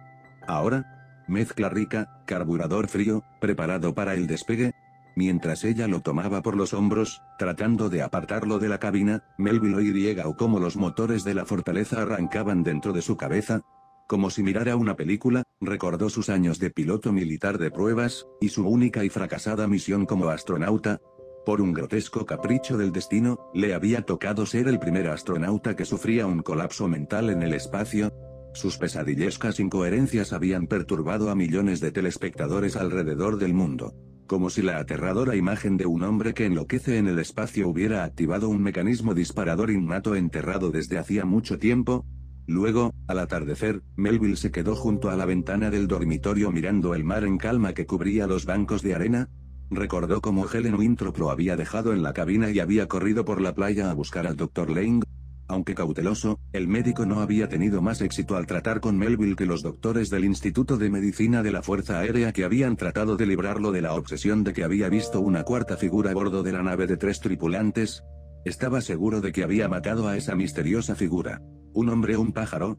¿Habría también cometido el primer crimen del espacio? Después que lo liberaron decidió hacer un viaje alrededor del mundo, exteriormente a Wake Island e interiormente a los planetas de su mente, al terminar el verano y acercarse el momento de la partida, Melville se vio obligado a renovar sus esfuerzos por desenterrar la fortaleza estrellada. Con el tiempo más frío, los vientos nocturnos empujaban la arena por encima de la cresta, volviendo a cubrir el fuselaje. El Dr. Lane lo visitaba más a menudo. Preocupado por el deterioro de Melville, miraba cómo luchaba contra las toneladas de arena. Melville, se está agotando. Lane le sacó la pala y empezó a apartar la arena. Melville se sentó en el ala, Ahora se cuidaba de no entrar nunca en la cabina, del otro lado de los bancos de arena. Tennant y su equipo se iban por el invierno, y llevaban el M109 destartalado en dos camiones. Melville esperaba el día en que y Helen Winthrop dejarían ese centro turístico abandonado y despegarían hacia el cielo occidental. Todas las ayudas radiales están listas, le dijo a ella el fin de semana anterior a la partida. Todo lo que necesitas ahora es archivar tu plan de vuelo. Helen Winthrop miró comprensiva a Melville que estaba junto a la chimenea. No soportaba los vómitos nerviosos de él y se había mudado de vuelta al hangar. A pesar de, o tal vez a causa de un breve enredo sexual, la relación de ellos era ahora casi prosaicamente neutra, pero Helen trataba de tranquilizarlo. ¿Cuánto equipaje tienes? Todavía no has hecho las maletas. No llevo nada, solo las fotografías. ¿No las necesitarás una vez que llegues a Wake Island? Quizás. Ahora son más verdaderas para mí de lo que jamás podría ser la isla. Cuando Helen Winthrop partió sin él, Melville se sorprendió pero no se decepcionó. Trabajaba arriba, en las dunas, cuando el Cessna, muy cargado, equipado con los tanques que él había instalado en las alas, despegó de la pista. Supo inmediatamente por el ruido del motor que ese no era un vuelo de prueba. Sentado en la torreta del techo de la fortaleza, miró cómo la dentista subía sobre los bancos de arena, giraba a la derecha, hacia el mar, y se iba a favor del viento sobre el canal, mucho antes de que se perdiera de vista. Melville la había olvidado, ya encontraría la manera de llegar solo al Pacífico. Durante las semanas siguientes pasó gran parte del tiempo refugiado debajo del avión, mirando cómo el viento volvía a soplar la arena sobre el fuselaje. Con la partida de Helen Winthrop y del ejecutivo de publicidad llevándose el Messerschmitt, encontró que sus sueños se volvían cada vez más tranquilos y no le traían recuerdos de los vuelos espaciales, a veces estaba seguro de que todo ese recuerdo de haberse adiestrado como astronauta era una fantasía, parte de un complejo sistema de ilusiones, una metáfora extrema de su verdadera ambición. Esa convicción hizo que se sintiera mucho mejor físicamente, y que confiara más en sí mismo, hasta el momento en que el Dr. Link subió a las dunas a decirle que Helen Winthrop había muerto dos semanas después de estrellarse con el Cessna en el aeropuerto de Nairobi. Melville se había recuperado lo suficiente como para sentir verdadero dolor durante varios días, fue en el coche hasta el campo de aviación y deambuló por el hangar desierto. Entre los bidones de aceite vacíos se veían rastros de la apresurada partida de Helen, una maleta con ropa y un juego extra de bengalas. Melville regresó a las dunas y siguió desenterrando de la arena el bombardero estrellado, cuidando de no dejar demasiada superficie al descubierto, aunque a menudo el húmedo aire invernal lo agotaba, se sentía cada vez más tranquilo, sostenido por el enorme bulto de la fortaleza, en cuya cabina no entraba nunca, y por el sueño en el que volaba a Wake Island. Vida y muerte de Dios. Durante la primavera y el verano de 1980 comenzó a circular por el mundo un extraordinario rumor, limitado al principio a los círculos gubernamentales y científicos de Washington, Londres y Moscú, pronto se extendió a África, a Sudamérica y al lejano Oriente, y entre gente de todos los oficios, desde ganaderos australianos hasta anfitrionas de clubes nocturnos y corredores de la Bolsa de París. Era raro el día en que el rumor no aparecía en la primera plana de por lo menos una docena de periódicos a lo largo y a lo ancho del mundo, en unos cuantos países, Canadá y Brasil especialmente, la persistencia del rumor provocó un peligroso descenso de los precios de los productos. Y los gobiernos del momento desmintieron con firmeza la noticia. En la sede central de las Naciones Unidas en Nueva York, el secretario general designó un comité de prominentes científicos, teólogos e importantes hombres de negocios con el único propósito de contener la excitación que hacia fines de la primavera comenzaba a generar el rumor, esto, desde luego, terminó de convencer a todo el mundo de que algo de trascendencia universal sería pronto revelado.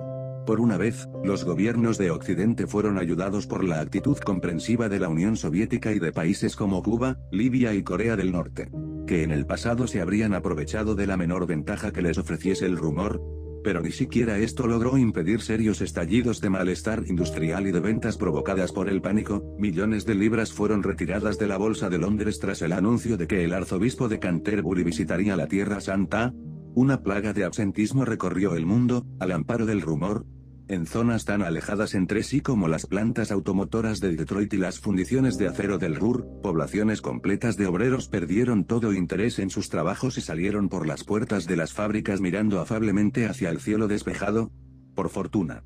Los efectos del rumor eran casi siempre pacíficos y no violentos, En el Oriente Medio y en Asia, donde confirmó creencias ya arraigadas durante siglos, la noticia apenas despertó interés, y solo en los círculos gubernamentales y científicos más sofisticados produjo una cierta conmoción.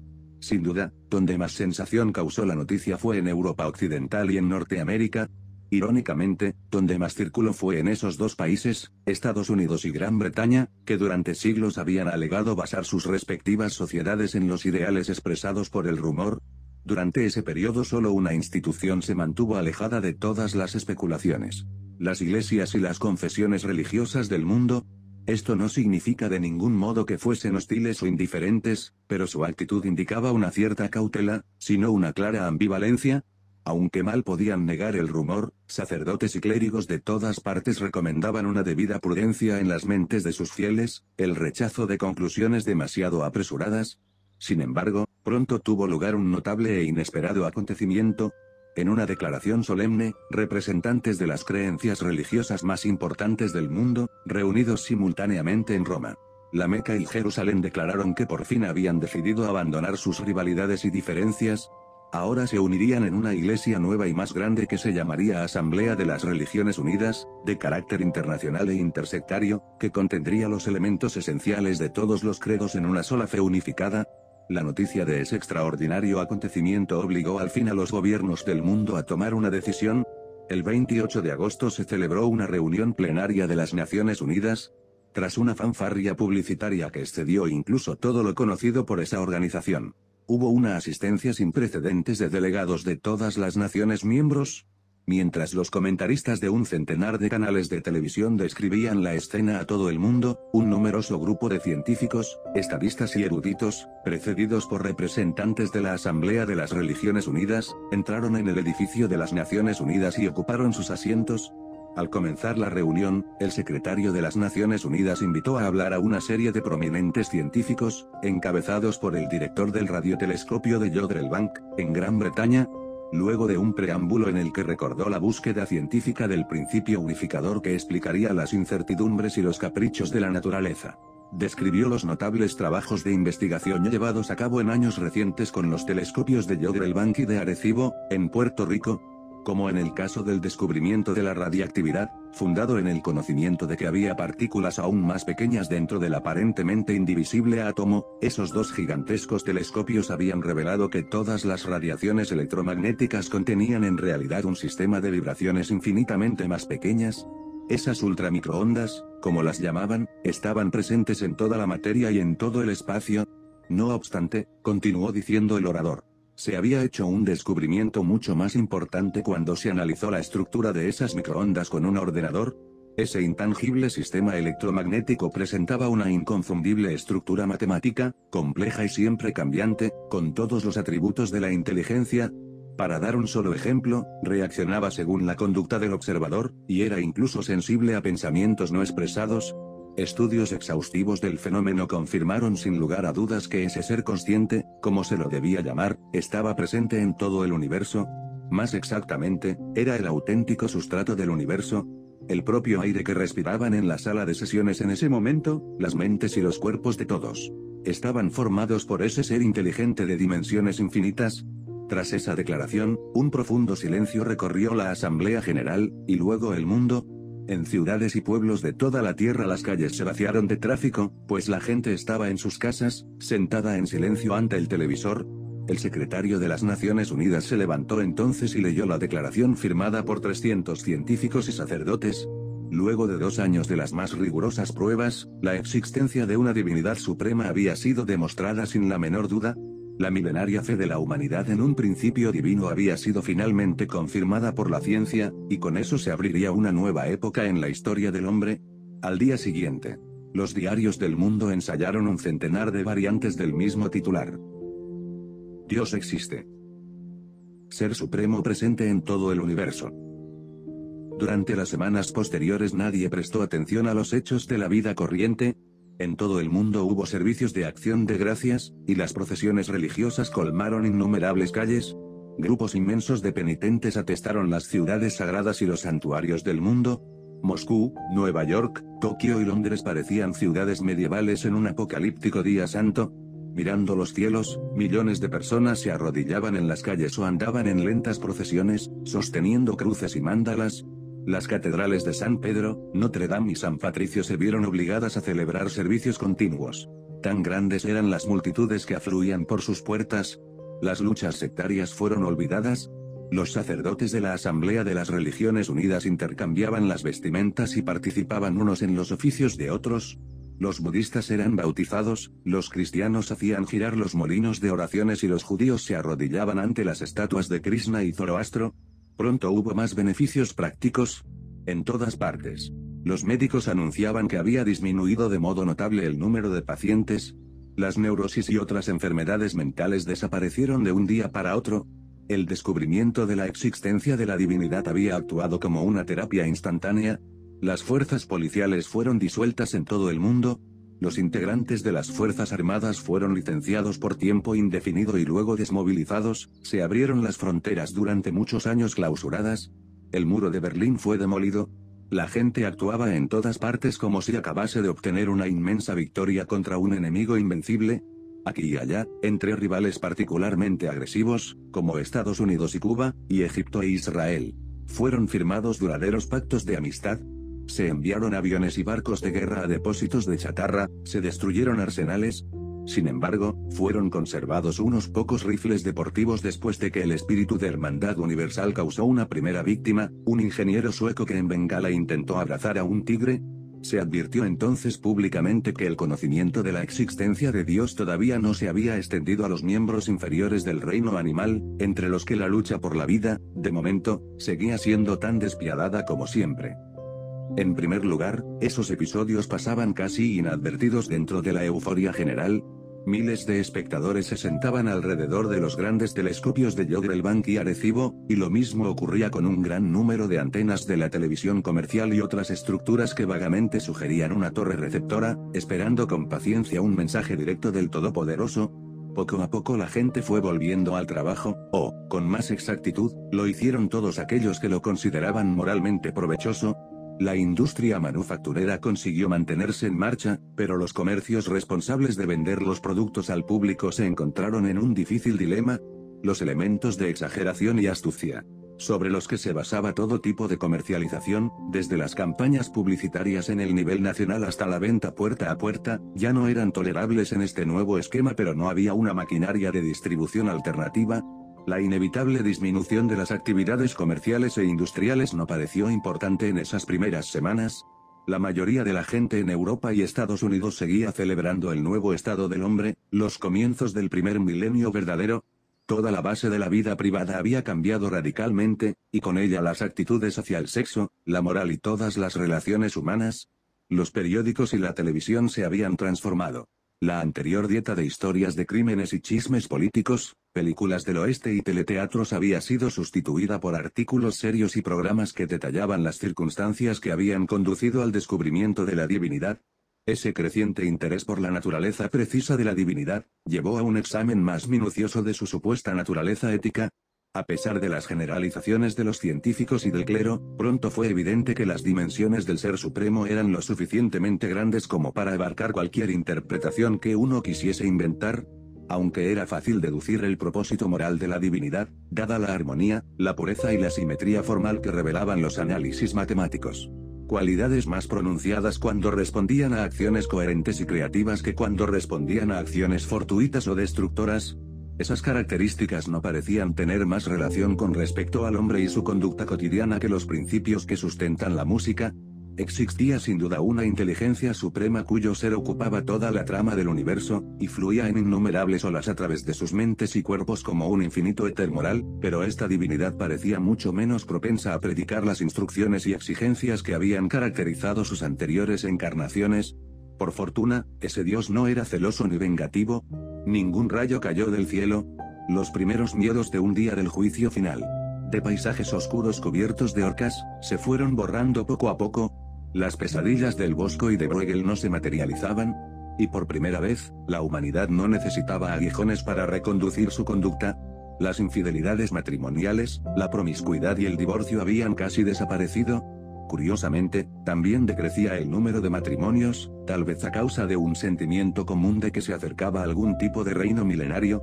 Esa idea, tan difundida, se manifestaba de muchas maneras, un gran número de obreros industriales de Europa y de Norteamérica habían perdido todo interés en sus trabajos, y pasaban el día sentados en las puertas con los vecinos, mirando el cielo y escuchando los boletines de la radio.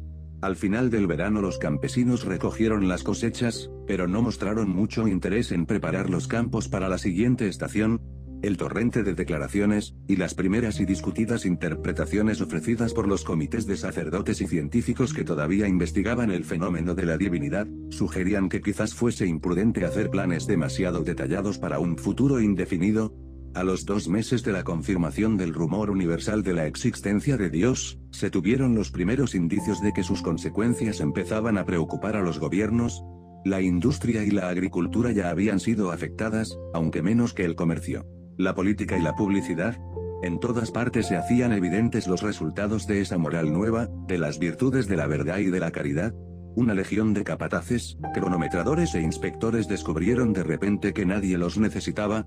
Agencias de publicidad con muchos años en el mercado quebraron de repente, aceptando la exigencia pública de honradez total, y temerosos de ese cliente supremo que estaba en el cielo, la mayoría de los avisos de televisión terminaban ahora con una exhortación a no comprar sus productos, en cuanto al mundo de la política, toda su razón de esfuerzos por perpetuarse, intrigas y nepotismo había sido destruida.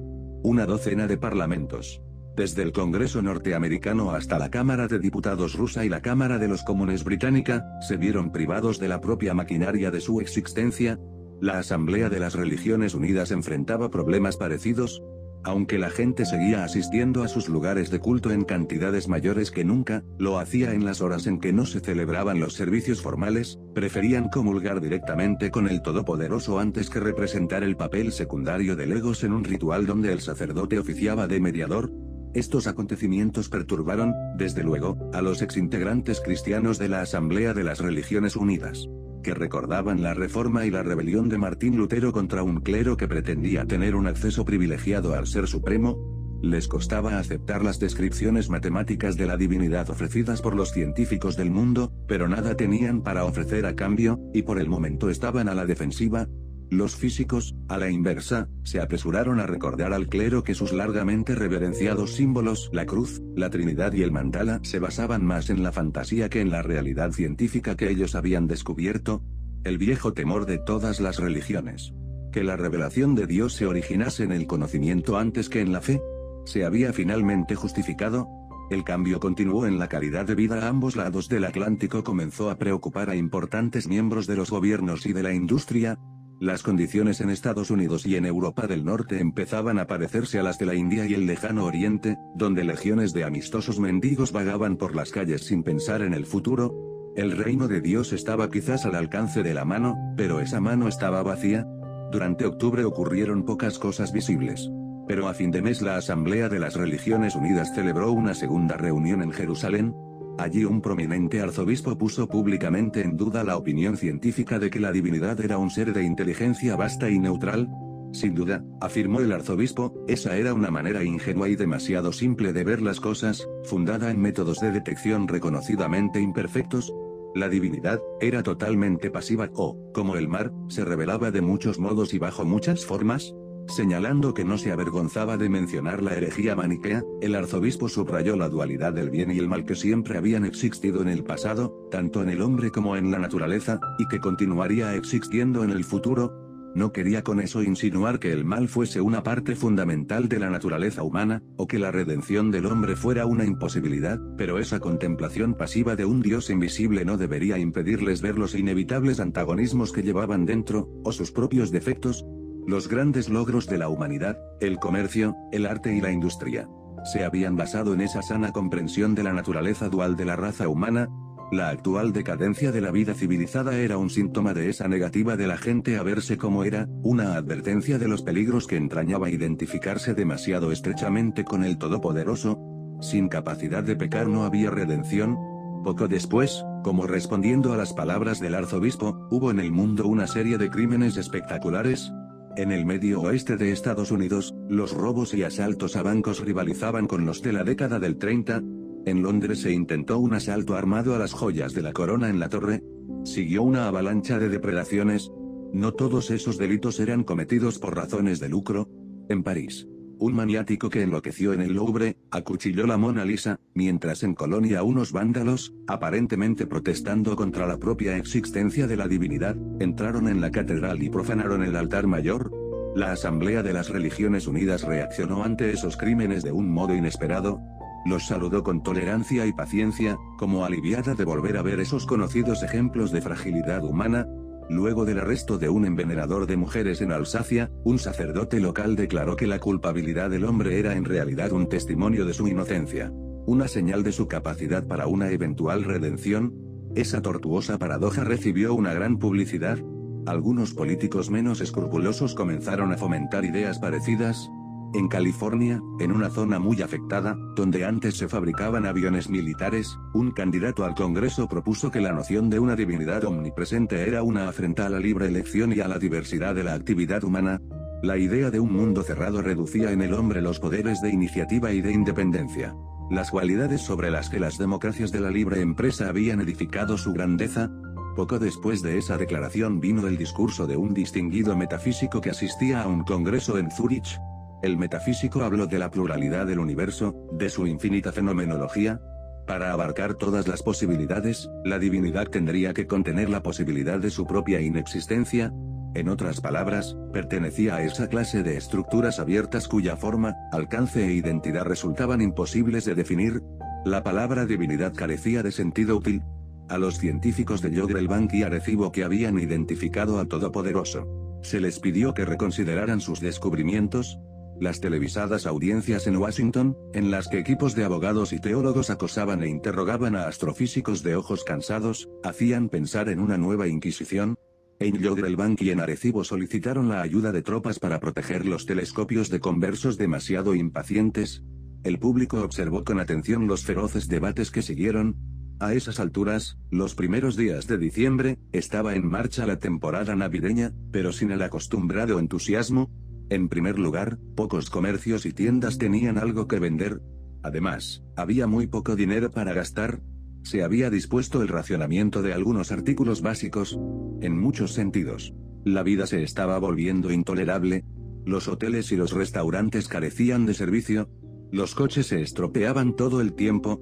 En todas partes, mientras el debate continuaba, la gente esperaba algo de la Asamblea de las Religiones Unidas, pero, misteriosamente, casi todos los templos estaban clausurados, mezquitas y sinagogas e iglesias y capillas permanecían cerradas a las inquietas muchedumbres.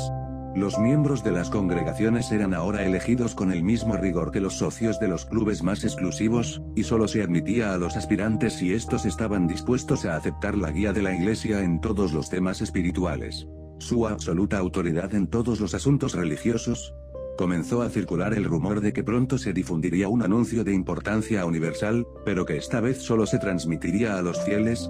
Las noticias de varios desastres naturales distrajeron durante unos cuantos días la creciente atmósfera de incertidumbre e intranquilidad.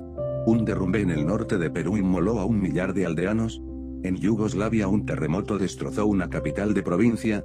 Unos icebergs hundieron a un superpetrolero en el Atlántico, la pregunta tímidamente formulada por un periódico neoyorquino. ¿Dios existe? La Asamblea de las Religiones expone sus dudas sobre la existencia de la divinidad, fue relegada a la última página. Tres semanas antes de la Navidad estalló la guerra entre Israel y Egipto. Los chinos invadieron Nepal, reclamando un territorio que acababan de ceder bajo el hechizo de lo que llamaron intriga neocolonialista, una semana más tarde, una revolución en Italia, apoyada por la Iglesia y las Fuerzas Armadas, desalojó al anterior régimen liberal. La producción industrial empezó a renacer en Estados Unidos y en Europa. Submarinos rusos, armados con misiles, fueron detectados haciendo maniobras en el Atlántico Norte. El día de Nochebuena, todos los sismógrafos del mundo registraron una gigantesca explosión en la zona del desierto del Gobi, y Radio Pekín anunció que se había probado con éxito una bomba de hidrógeno de 100 megatones. Las decoraciones navideñas habían aparecido por fin en las calles, y las conocidas figuras de Santa Claus y el trineo adornaban miles de tiendas. Se celebraban festivales de villancicos en un centenar de catedrales, ante fieles de todas las confesiones, En toda esa atmósfera de festividad, poca gente reparó en la publicación de lo que un portavoz de la Asamblea de las Religiones Unidas describió como una de las declaraciones religiosas más trascendentales y revolucionarias que se habían hecho jamás. La encíclica navideña titulada Dios ha muerto. El espectáculo de televisión más grande de la Tierra. El descubrimiento en el año 2001 de un sistema eficaz para viajar por el tiempo tuvo una serie de importantes repercusiones, aunque nada tan notorias como en el campo de la televisión, el último cuarto del siglo XX había sido testigo del espectacular crecimiento de la televisión a lo largo de todos los continentes del globo, y se afirmaba que los programas transmitidos por cada una de las enormes cadenas, la americana, la europea y la afroasiática, contaban con mil millones de espectadores, pero a pesar de sus enormes recursos financieros, las empresas de televisión enfrentaban una crónica escasez de noticias y de entretenimientos.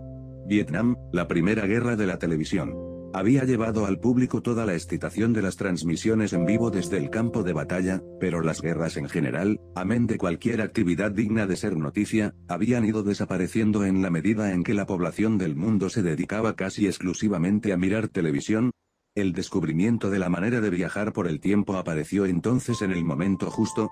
Liquidada la primera tormenta de pleitos por derechos de invención, un japonés emprendedor casi consiguió patentar la historia, entonces el tiempo fue declarado territorio abierto, resultó claro que el mayor obstáculo para viajar en el tiempo no eran las leyes del universo físico, sino las abultadas sumas de dinero necesarias para construir y dotar de energía a las instalaciones, esos safaris al pasado costaban aproximadamente un millón de dólares por minuto.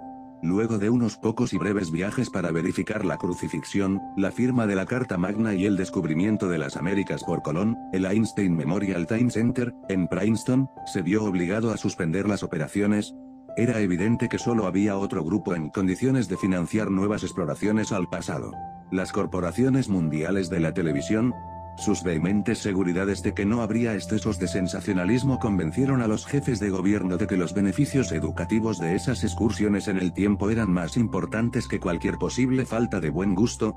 Las compañías de televisión, por su parte, vieron en el pasado una fuente inagotable, y además gratuita, de noticias y de entretenimientos, de inmediato se pusieron a trabajar, invirtiendo miles de millones de dólares, rupias, rublos y yens en la duplicación del enorme cronotron del centro temporal de Princeton.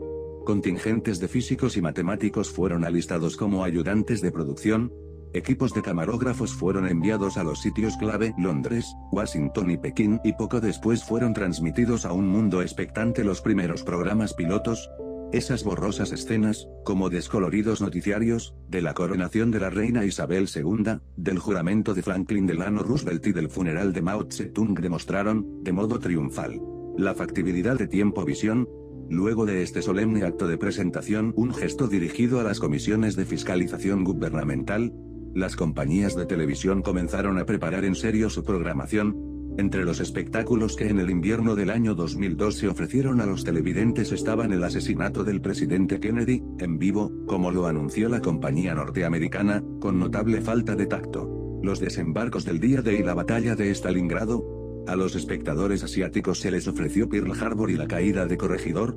Este énfasis en la muerte y la destrucción marcó el tono de lo que vendría después. El éxito de los programas superó los sueños más descabellados de los planificadores, las fugaces imágenes de humeantes campos de batalla, con los calcinados tanques y barcazas, habían abierto un enorme apetito. Fueron preparados más y más equipos de camarógrafos, y se desplegó un ejército de historiadores militares para establecer el momento exacto en que fue socorrida la ciudad de Bastogne y enarboladas las banderas de victoria sobre el monte Suribachi y el Reichstag.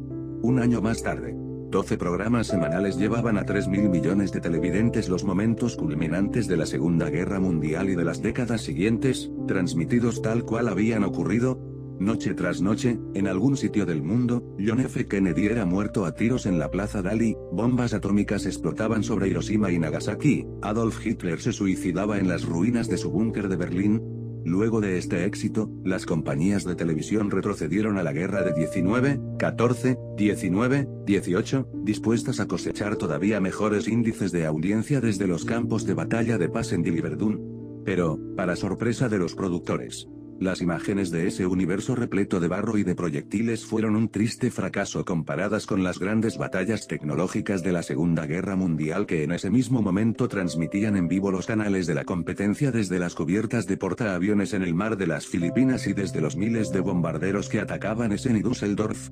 Una sola escena de la Primera Guerra Mundial excitó los saciados paladares de los espectadores, una carga de caballería de los ulanos del ejército imperial alemán, saltando por encima de los alambres de púas en sus espléndidas monturas, los penachos blancos volando por encima del barro, esos jinetes armados con lanzas llevaron a mil millones de pantallas de televisión.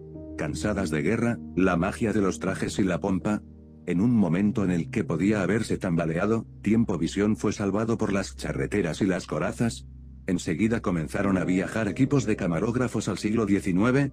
Las dos primeras guerras desaparecieron de la pantalla, en unos pocos meses los espectadores vieron la coronación de la reina Victoria, el asesinato de Lincoln y el sitio de El Álamo. Como culminación de esa temporada de historia instantánea, las grandes corporaciones de tiempo visión de Europa y Norteamérica colaboraron en el proyecto más espectacular hasta el momento, la transmisión en vivo de la derrota de Napoleón Bonaparte en la batalla de Waterloo. Mientras hacían sus preparativos, las dos compañías descubrieron algo que habría de tener trascendentales consecuencias en la historia de Tiempo Visión. Durante sus visitas a la batalla, aislados de los disparos y la furia por las invisibles paredes de las cápsulas temporales, los productores notaron que había en realidad menos combatientes que los descritos en las historias de la época, por muy grandes que hubiesen sido las consecuencias de la derrota de la Francia napoleónica, la batalla en sí desilusionaba, pues consistía en la presencia de unos pocos millares de soldados fatigados por largas marchas, entregados a esporádicos duelos de fusilería y artillería. En una reunión de emergencia, los jefes de programación discutieron el hecho de que Waterloo no estuviese a la altura de su reputación, los productores volvieron a visitar el campo de batalla, dejaron las cápsulas y caminaron disfrazados entre la exhausta soldadesca, la perspectiva de los índices de audiencia más bajos de toda la historia de Tiempo Visión parecía cada vez más inminente. En ese punto crítico, un anónimo ayudante de producción propuso una idea notable. Antes que quedarse sentadas detrás de las cámaras, sin hacer nada, las compañías de Tiempo Visión deberían participar, sugirió, aportando sus amplios conocimientos y recursos para realzar el drama de la batalla, podrían volcar más extras, es decir, mercenarios reclutados en las comunidades agrícolas del lugar en la refriega, y distribuir pólvora y munición para las armas descargadas, y reorganizar toda la coreografía de la batalla según las indicaciones de los asesores militares del departamento editorial. La historia, concluía, es solo el primer borrador de un guion de televisión.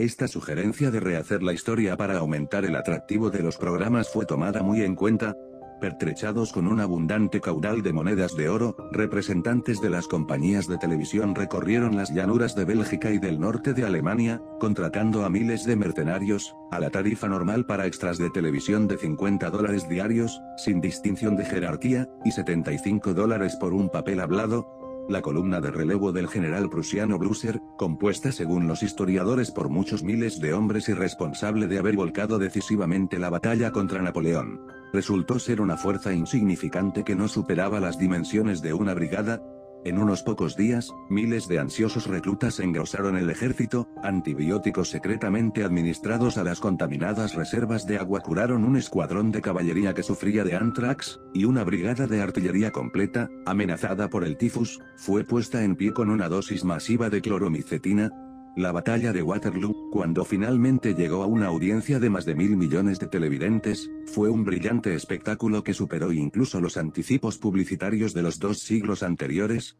Los miles de mercenarios luchaban con furia salvaje, el fuego de artillería desgarraba el aire sin pausa. Ollas de caballería atacaban y volvían a atacar, el propio Napoleón estaba azorado por el curso que habían tomado los acontecimientos, y pasó los últimos años de su vida en un desconcertado exilio, Después del éxito de Waterloo, las compañías de tiempo visión comprendieron las ventajas que ofrecía la preparación del terreno. Desde entonces casi todos los hechos históricos importantes fueron readaptados por los departamentos editoriales. Se descubrió que el ejército de Aníbal que atravesó los Alpes disponía nada más que de seis elefantes, y se le agregaron 200 más para pisotear a los asombrados romanos.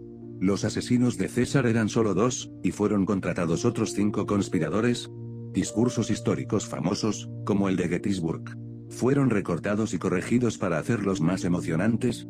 Waterloo, Mientras tanto, no fue olvidada, para recuperar la inversión original, la batalla fue subalquilada a empresas de televisión menores, algunas de los cuales la inflaron hasta darle proporciones de apocalipsis. Sin embargo, esos espectáculos a la manera de The en los cuales compañías rivales aparecían en el mismo campo de batalla arrojando extras, armas y animales, eran despreciados por los espectadores más sofisticados, para fastidio de las compañías de televisión, el tema más fascinante de toda la historia les estaba vedado, ante la severa insistencia de las iglesias cristianas. Ninguno de los hechos que rodeaban la vida de Cristo era llevado a la pantalla, por grandes que fuesen los beneficios espirituales de una transmisión en vivo del Sermón de la Montaña, los cortes publicitarios podían opacar la sublime experiencia. Ante este obstáculo, los programadores fueron más atrás en el tiempo.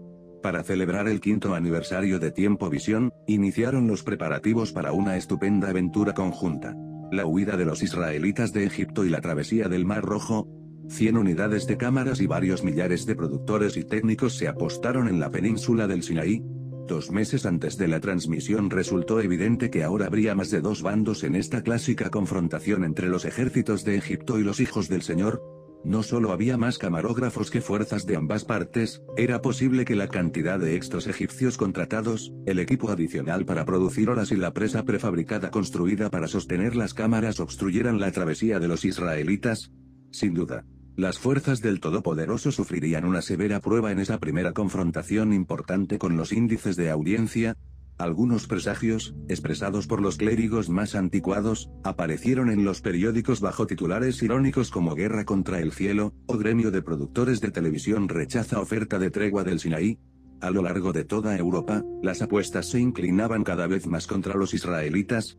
El día de la transmisión, el 1 de enero de 2006, los índices de audiencia indicaban que el 98 de los telespectadores adultos del mundo occidental estaban mirando sus televisores, Aparecieron las primeras imágenes en las pantallas. Allí estaban los israelitas, bajo un cielo espasmódico. Avanzando despacio hacia las cámaras invisibles montadas sobre el agua. Originalmente 300, los israelitas eran ahora una vasta multitud que se extendía kilómetros y kilómetros por el desierto, Desconcertados por la enorme cantidad de simpatizantes, los jefes israelitas se detuvieron en la orilla, sin saber muy bien cómo atravesar esa movediza masa de agua inestable, por el horizonte, los carruajes del ejército del faraón, de ruedas de borde afilado, se acercaban a gran velocidad. Los espectadores miraban fascinados, muchos de ellos preguntándose si esta vez las compañías de televisión no habrían ido demasiado lejos. Entonces, sin ninguna explicación, mil millones de pantallas quedaron en blanco. La bataola fue inmensa. En todas partes se saturaron los conmutadores de teléfono, Llamadas prioritarias en el nivel intergubernamental saturaron los relés de los satélites de comunicaciones, los estudios de tiempo visión en Europa y en América fueron asediados. No llegaba ninguna imagen. Todo contacto con los camarógrafos destinados en el lugar de transmisión se había interrumpido. Por fin, dos horas más tarde, apareció una breve escena, de aguas torrenciales que lavaban los restos de las cámaras de televisión y de las instalaciones. En la orilla más cercana, las fuerzas egipcias emprendían el regreso, del otro lado de las aguas, la pequeña banda de israelitas avanzaba hacia la seguridad del Sinaí. Lo que más sorprendió a los televidentes fue la extraña luz que iluminaba la escena, como si usaran para la transmisión alguna arcaica pero extraordinaria fuente de energía.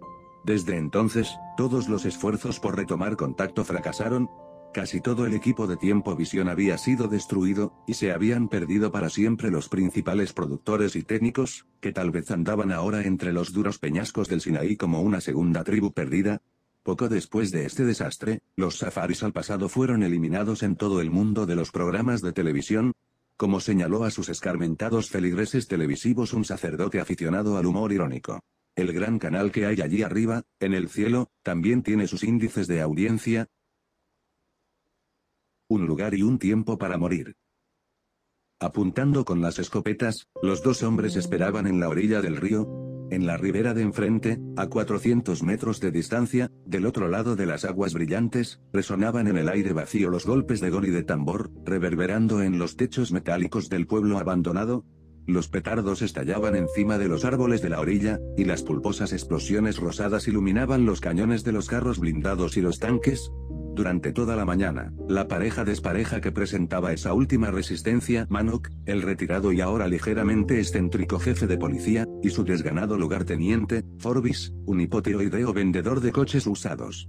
Había observado la creciente actividad de la ribera de enfrente, poco después de las 8, cuando Manok atravesó en coche el pueblo desierto, ya habían aparecido los primeros en escena, Cuatro vehículos de reconocimiento que transportaban a un pelotón de soldados con acolchados uniformes pardos se habían detenido en la orilla.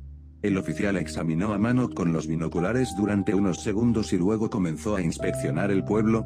Una hora más tarde un batallón de avanzada de ingenieros de campaña tomaron posición junto al dinamitado puente del ferrocarril.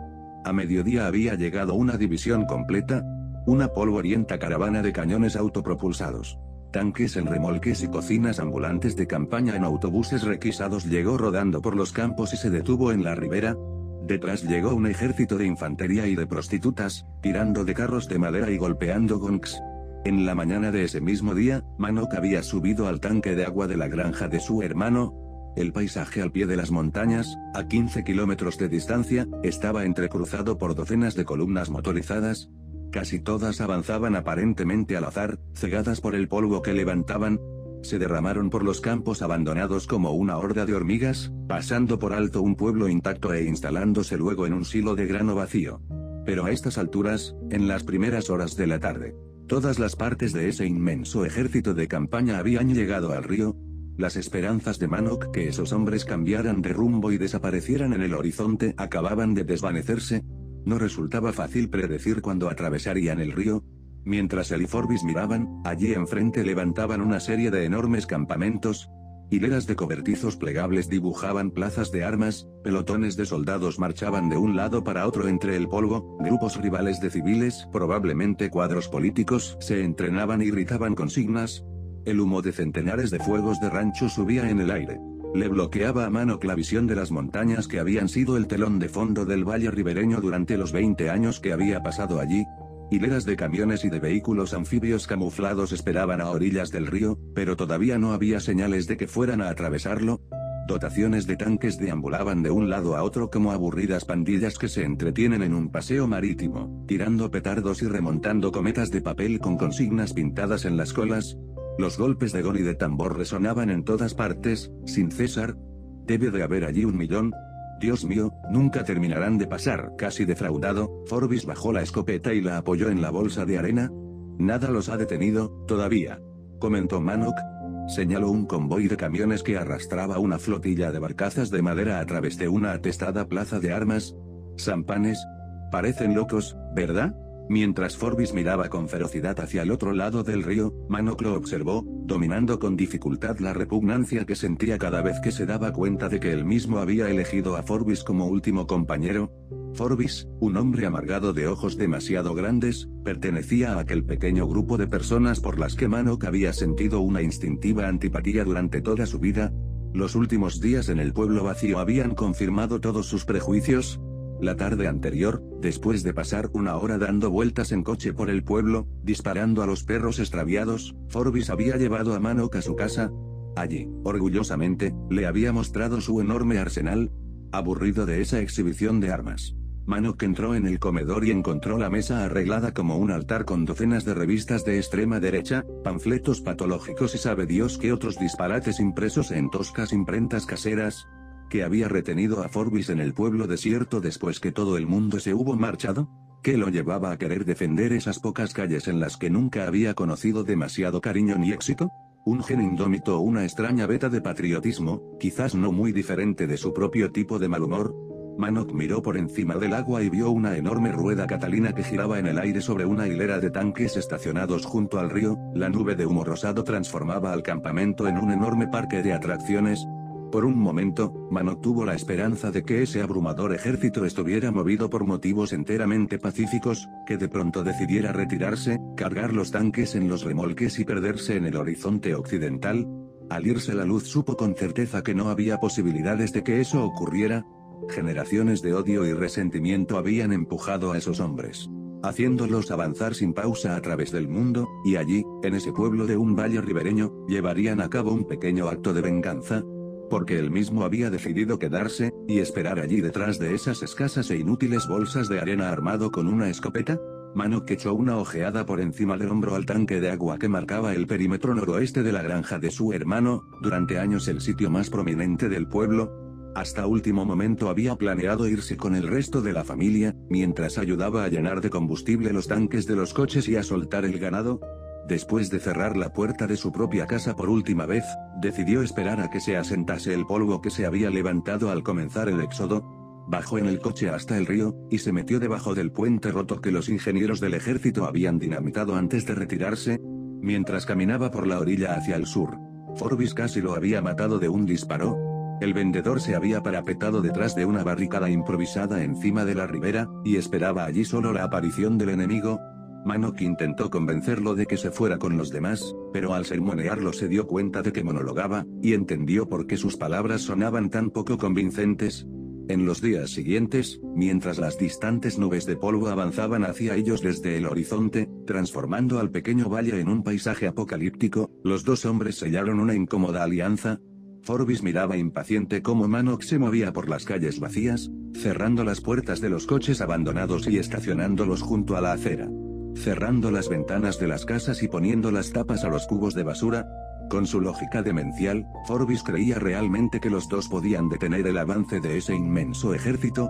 Quizás solo unas horas, le aseguró a Manok, con tranquilo orgullo. Pero será suficiente. Más probablemente unos segundos, pensó Manok, un breve movimiento en alguna parte, una ráfaga de ametralladora y muerte en el polvo. Manok. Forbis señaló la ribera, a 50 metros del terraplén del puente. Un pelotón de trabajadores estaba bajando al agua, a pulso, un pesado esquife metálico.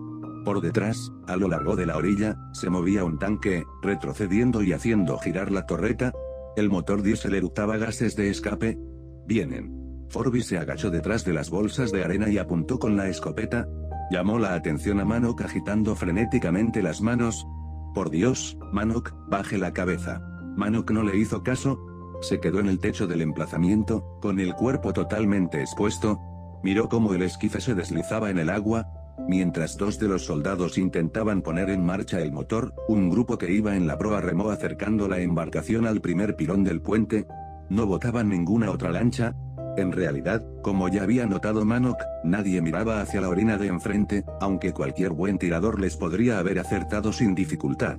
Un solo proyectil de 75 milímetros de uno de los tanques habría acabado con ellos y con el emplazamiento. Ingenieros, le dijo a Forbis. Están inspeccionando los pilares del puente.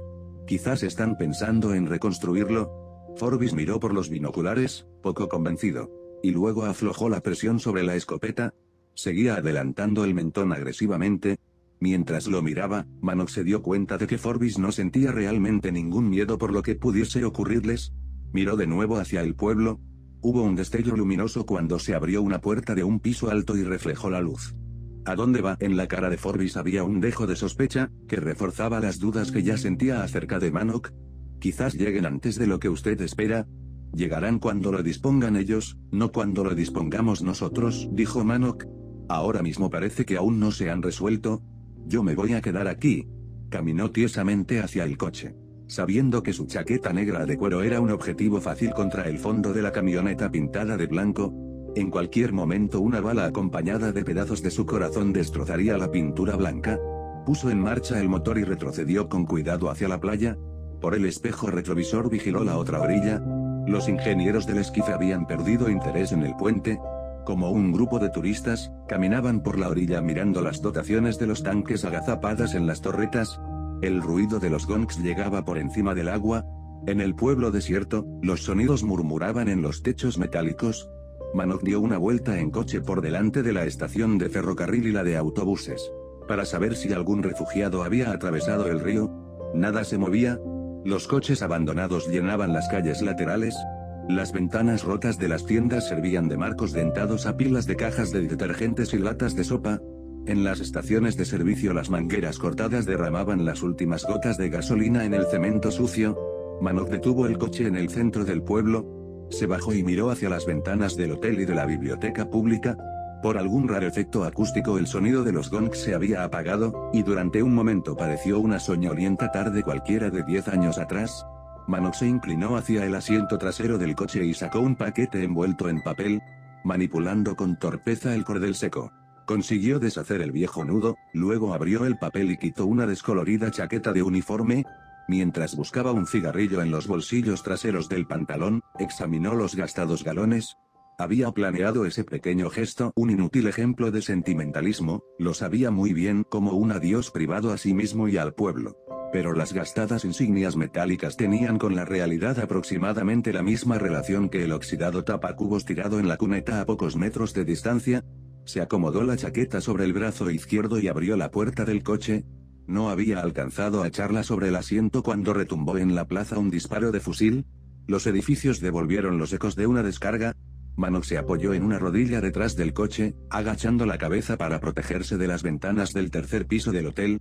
La bala había dibujado una estrella en la ventanilla del acompañante y rebotado en el tablero de instrumentos, astillando el volante antes de salir por la puerta del conductor, mientras se apagaba el sonido de la explosión. Manocó y o las botas de goma de un hombre delgado que bajaba por la escalera de incendios del otro lado del edificio. Manok miró hacia arriba. Del mástil del hotel, encima del pueblo, ondeaba una bandera extraña.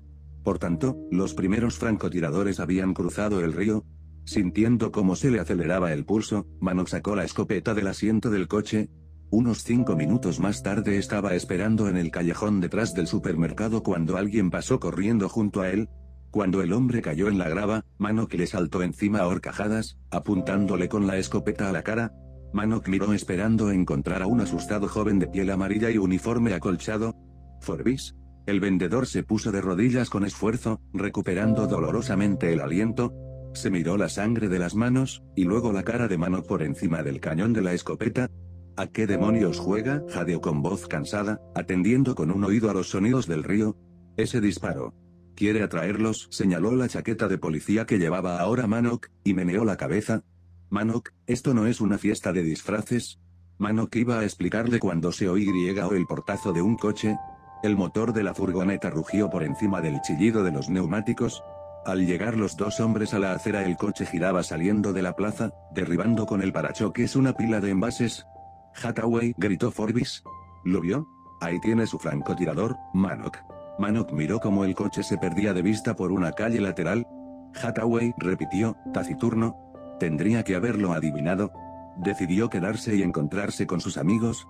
Después que Forbis hubo arrancado la bandera del mástil del hotel, él y Manok volvieron en coche hasta el río, Manok, incómodo con la chaqueta de policía, pensaba en Hathaway, el extraño joven que con él y Forbis completaba un triángulo clave en aquella sociedad, Hathaway el inadaptado, la cabeza llena de consignas marxistas a medio digerir, con la carga de una mujer aburrida que un día se cansó de vivir en pensiones y lo dejó llevándose al hijo pequeño, Hathaway el activista político fracasado cuyos ojos obsesos incomodaban incluso a un grupo estudiantil de extrema izquierda, Hathaway el delincuente menor, arrestado por robar en un supermercado, aunque pronto se convenció de que era mártir de una conspiración capitalista, era evidente que con ver una vez la vieja chaqueta de policía de mano que le había bastado, una hora más tarde comenzó el avance a través del río, en un momento Mano que estaba sentado en el viejo tirante de la barandilla que era la pared trasera del emplazamiento de Forbis, mirando la instrucción y los desfiles interminables que tenían lugar en la orilla opuesta, y escuchando los gongs y las explosiones de los petardos. En el momento siguiente, docenas de lanchas de desembarco bajaban por la ribera hacia el agua, detrás hormigueaban miles de soldados, llevando sobre la cabeza fardos de materiales, todo el paisaje se había levantado y avanzado, a un kilómetro tierra adentro subían al aire enormes nubes de polvo. Por todas partes se derrumbaban cobertizos y puestos de mando improvisados, y unas desgarbadas grúas blandían tramos de pontones por encima de los árboles. El golpeteo de tambores resonaba a lo largo de varios kilómetros de la orilla, Contando rápidamente, Mano calculó que en ese momento por lo menos 50 lanchas de desembarco atravesaban el río, remolcando cada una dos o tres tanques anfibios, una lancha grande de madera iba directamente hacia ellos. Con más de 100 soldados de infantería sentados en cuclillas en la cubierta como culis. Sobre la cuadrada proa de teca asomaba del protector metálico rectangular una pesada ametralladora, y los artilleros hacían señas al timonel. Forbis empezó a apuntar con la escopeta en mano que le apartó la culata del hombro. Repleguémonos. Más cerca del pueblo. Aquí nos van a pasar por encima. Agazapados, retrocedieron alejándose del emplazamiento, Cuando la primera lancha tocó la orilla, ellos ya habían llegado a la protección de los árboles que bordeaban el camino. Forbis corrió delante hasta una pila de bidones de 200 litros tirados en la cuneta y comenzó a empujarlos y a formar con ellos una tosca barricada. Manok miró cómo trabajaba mientras el aire se llenaba de ruidos de tanques y de gongs. Cuando Forbis terminó, Manok meneó la cabeza, señaló con una mano cansada los campos a ambos lados del camino, luego apoyó la escopeta en la pared del terraplén, hasta donde podían ver, cientos de soldados avanzaban en dirección al pueblo. Con fusiles y metralletas al hombro, la orilla del río estaba atestada de lanchas de desembarco, una docena de puentes de pontones atravesaban el agua, de las lanchas salían soldados de infantería e ingenieros que descargaban los coches del Estado Mayor y piezas de artillería livianas. A menos de un kilómetro de distancia, los primeros soldados ya seguían la línea férrea hacia el pueblo, Manok miró una columna de infantería que subía por el camino hacia ellos.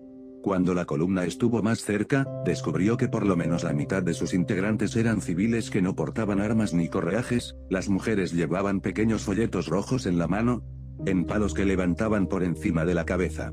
Sostenían ampliaciones de fotografías de líderes partidarios y de generales, una motocicleta con sidecar donde iba montada una ametralladora liviana se abrió paso hasta dejar atrás la columna y entonces se atascó en el borde del camino.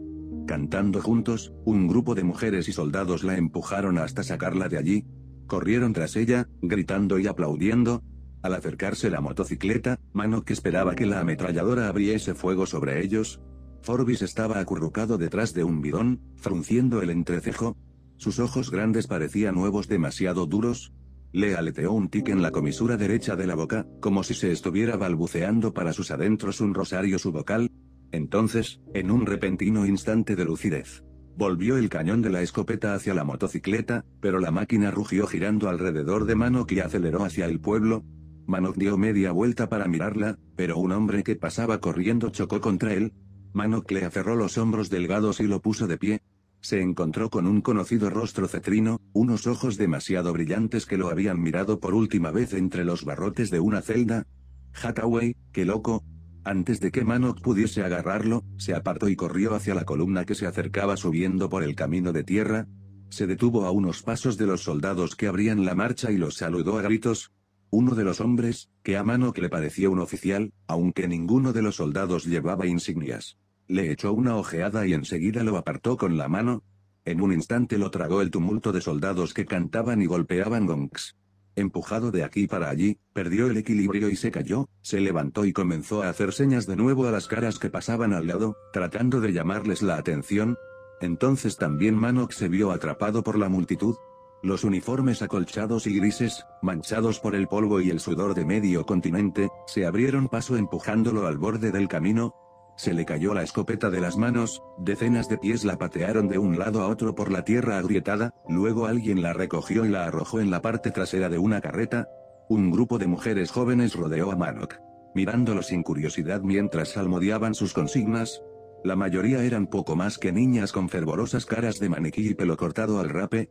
Al darse cuenta de lo que había pasado, Manok sacó a Forbis de la zanja, Nadie había intentado quitarle la escopeta a Forbis, y el vendedor se aferraba a ella como un niño. Manok se la arrancó de las manos. No entiende, gritó. No les interesamos. No les interesamos nada. Los Ángeles Comsat. La primera vez que oí hablar de la misión, en el verano de 1968, hice todo lo posible por rechazarla, Charles Whitehead, productor de Horizon, programa científico de la BBC, me pidió que volase con él a Francia para grabar una conferencia de prensa que daría un niño prodigio de 14 años, Georges Dival, que estaba llamando la atención en los periódicos de París. La película formaría parte de La mente en expansión, la nueva serie de Horizon para la que yo escribía los guiones y que trataría el papel de los satélites de comunicación y de los mecanismos de procesamiento de datos en la llamada explosión informativa, lo que me molestó fue la inserción de material inoportuno y sensacionalista en un programa, por lo demás serio. Charles. ¿Vas a destruir todo? Protesté sobre su escritorio esa mañana. ¿Todos esos niños prodigios son iguales? ¿O tienen algún talento raro o los manipulan padres ambiciosos? ¿Crees francamente que ese muchacho es un genio? ¿Podría serlo, James? ¿Quién sabe? Charles señaló con una mano rolliza las imágenes captadas por satélites orbitales, sujetas a las paredes, Estamos preparando un programa sobre sistemas de comunicación avanzados, si alguna justificación tiene es sacar a la luz talentos como este. ¿Tonterías? A esos prodigios los han desenmascarado una y otra vez. La relación entre ellos y el verdadero genio es la misma que hay entre un nadador que atraviesa el Canal de la Mancha y un astronauta lunar. Al fin, a pesar de mis protestas, Charles me convenció, pero a la mañana siguiente, cuando volamos al aeropuerto de Orly, yo todavía era escéptico, cada dos o tres años llegaban noticias del descubrimiento de algún niño genio. Los hechos eran siempre los mismos, el prodigio había dominado el ajedrez a los tres años, el sánscrito y el cálculo a los seis, la teoría general de la relatividad de Einstein a los doce. Las universidades y los conservatorios de Norteamérica y Europa le abrían las puertas. Pero por alguna razón no pasaba nada con esos talentos precoces, una vez que los padres o un patrocinador comercial sin escrúpulos habían exprimido al niño hasta la última gota de publicidad, el presunto genio se esfumaba en el olvido. ¿Recuerdas a Minudruet? Le pregunté a Charles mientras nos trasladábamos en coche desde Orly. Una niña prodigio de hace algunos años. Cocteau leyó sus poemas y dijo, todo niño es un genio, excepto Minudruet.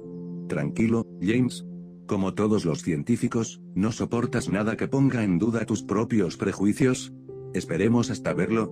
Quizás nos sorprenda. Desde luego nos sorprendió, pero no como esperábamos. Dival vivía con su madre viuda en el pequeño pueblo de Montereau, sobre el Sena, 50 kilómetros al sur de París. Mientras atravesábamos la plaza adoquinada, por delante de la prefectura de policía, no nos pareció un lugar de nacimiento probable de otro Darwin, Freud o Curie.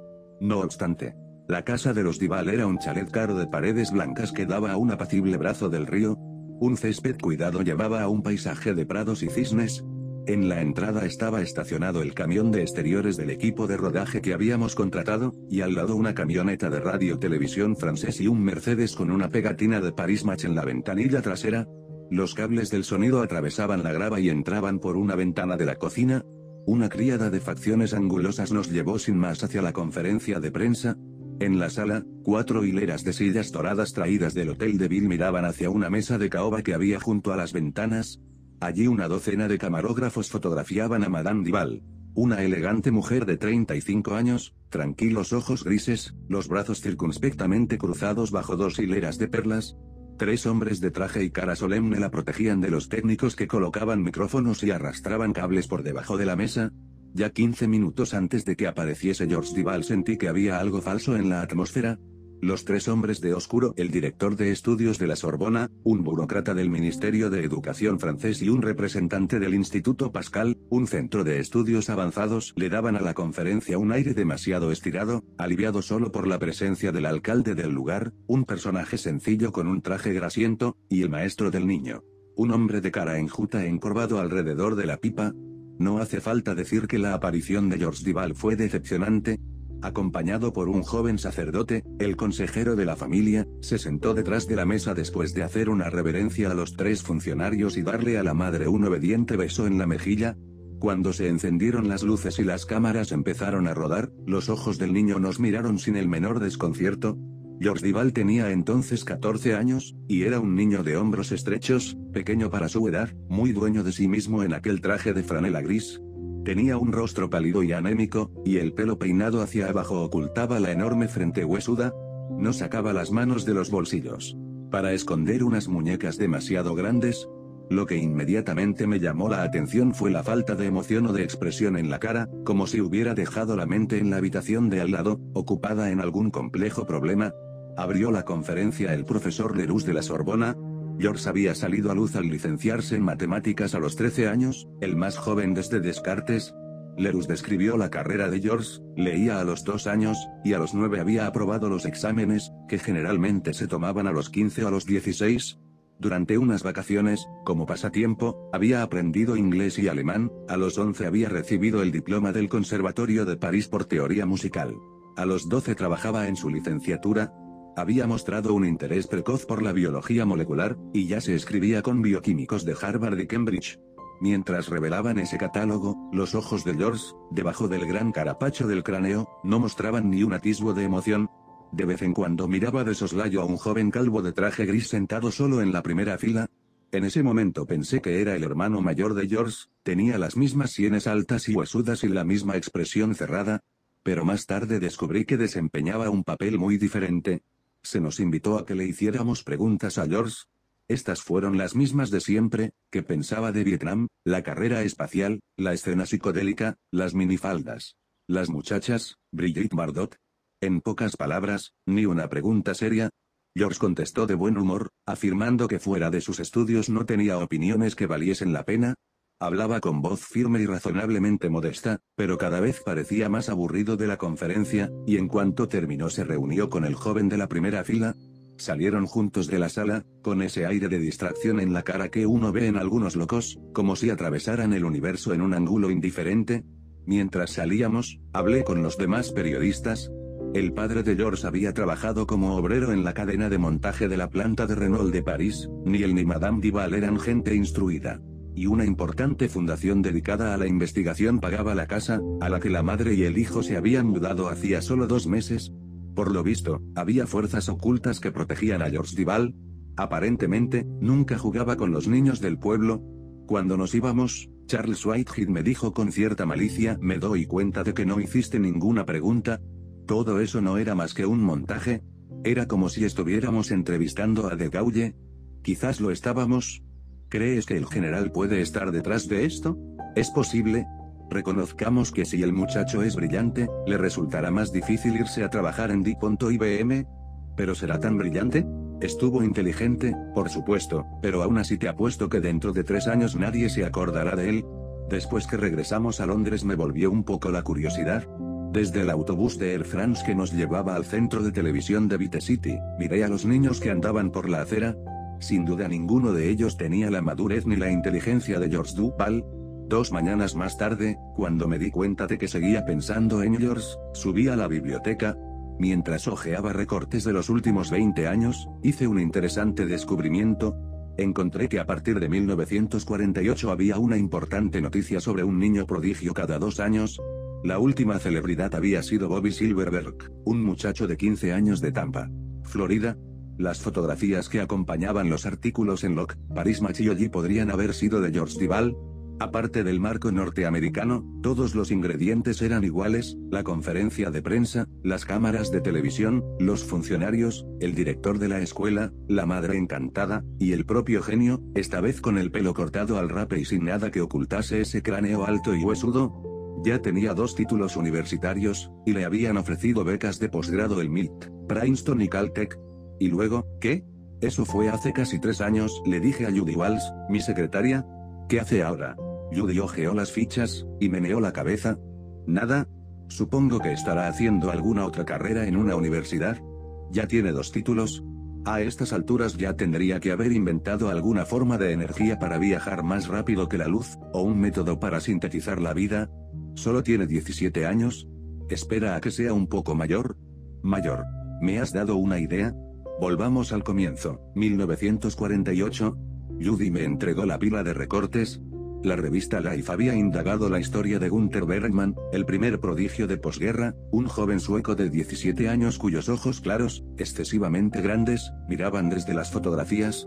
Un hecho insólito era la presencia de tres representantes de la Fundación Nobel, quizás porque era mayor que Silverberg y George Duval, los logros intelectuales de Bergman parecían prodigiosos, ya andaba por la tercera carrera, ya había hecho contribuciones a la radioastronomía, ayudando a la identificación de fuentes radiales que una década más tarde recibieron el nombre de cuásares. Parece que tiene garantizada una carrera espectacular en astronomía. Supongo que no resultará difícil localizarlo. ¿Qué edad tendrá? 37, y será por lo menos catedrático, camino al premio Nobel. Buscamos en las guías profesionales y llamamos al Observatorio de Greenwich y a la Secretaría londinense de la Federación Mundial de Astronomía. Nadie había oído hablar de Gunther Bergman. Muy bien, ¿dónde está? Le pregunté a Judy cuando agotamos todas las líneas de investigación. Por el amor de Dios, pasaron 20 años, tendría que ser mundialmente famoso. Tal vez esté muerto. ¿Es posible?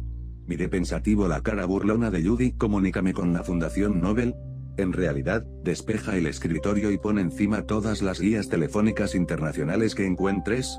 Vamos a hacer cantar los Comsats. Tres semanas más tarde. Llevando un voluminoso portafolios, entré con paso eléctrico en el despacho de Charles Whitehead. Charles me observó con cautela por encima de las gafas. James, me dicen que te has esforzado tras la pista de nuestros genios desaparecidos. ¿Qué encontraste? ¿Un nuevo programa? ¿Nuevo? Ya hemos anunciado a George Dival en Radio Times. ¿Durante cuánto tiempo? Acerqué una silla al escritorio de Charles, abrí el portafolio y le esparcí delante la docena de expedientes. Déjame que te ponga al corriente. Judy y yo hemos investigado hasta 1948. En estos 20 años ha habido 11 casos de presuntos genios. George Dival es el duodécimo. Le puse la lista delante. 1948. Gunther Bergman, Uppsala, Suecia. 1950. Jaakko Litmanen, Vaasa, Finlandia. 1952. John Warrender, Kansas City, Estados Unidos. 1953. Arturo Bandini, Bolonia, Italia. 1955. Gesai Rey, Calcuta, India. 1957. Giuliano Caldare, Palermo, Sicilia. 1958. Wolfgang Herter, Colonia, Alemania. 1960. Martin Serrington, Canterbury, Inglaterra. 1962. Josef Oblensky, Leningrado, URSS. 1964. Jenes H.S. Isan, Wuhan, China. 1965. Robert Silverberg, Tampa, Estados Unidos. 1968. Georges Dival, Montero, Francia. Charles estudió la lista, pasándose de vez en cuando un pañuelo floreado por la frente. Francamente, fuera de Georges Dival, los nombres no significan nada. ¿No es raro? ¿Hay ahí talento suficiente para ganar todos los premios Nobel tres veces? ¿Has intentado rastrearlos?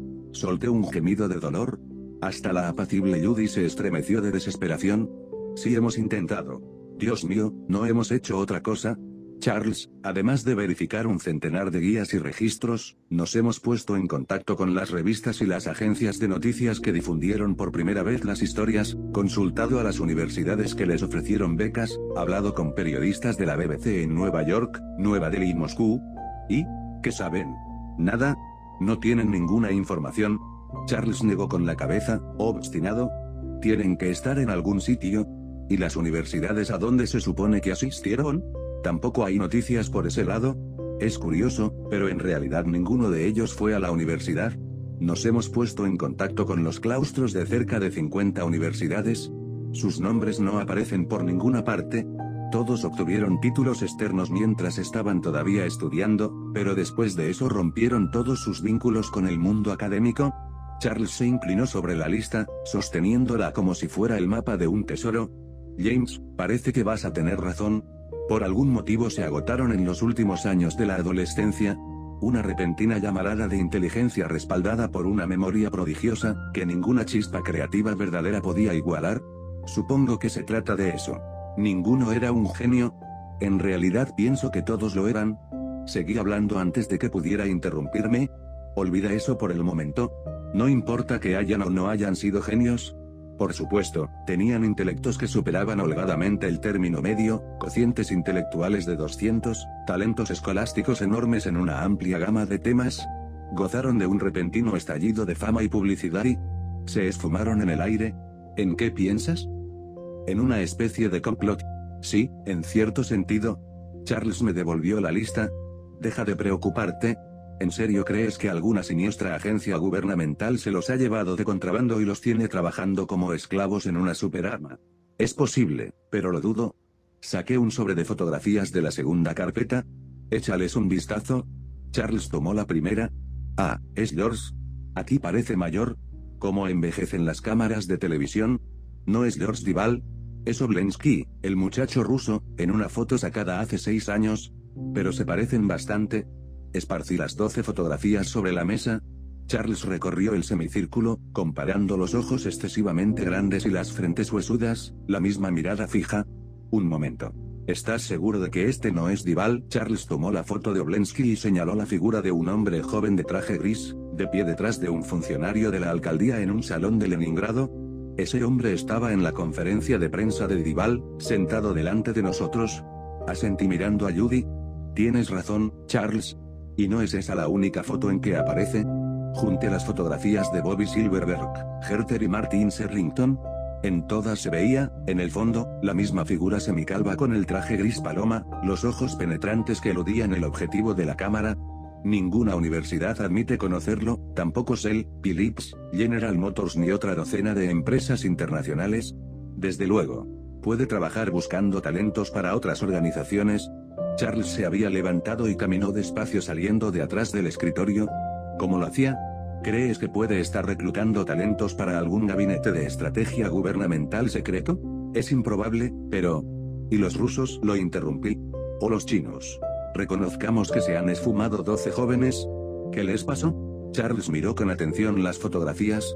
Lo raro es que reconozco vagamente todas esas caras. Esos cráneos huesudos, y esos ojos. En algún sitio.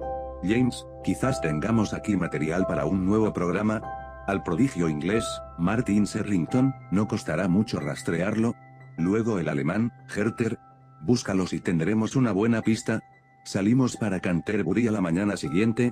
La dirección, proporcionada por un amigo que era director científico del Daily Express.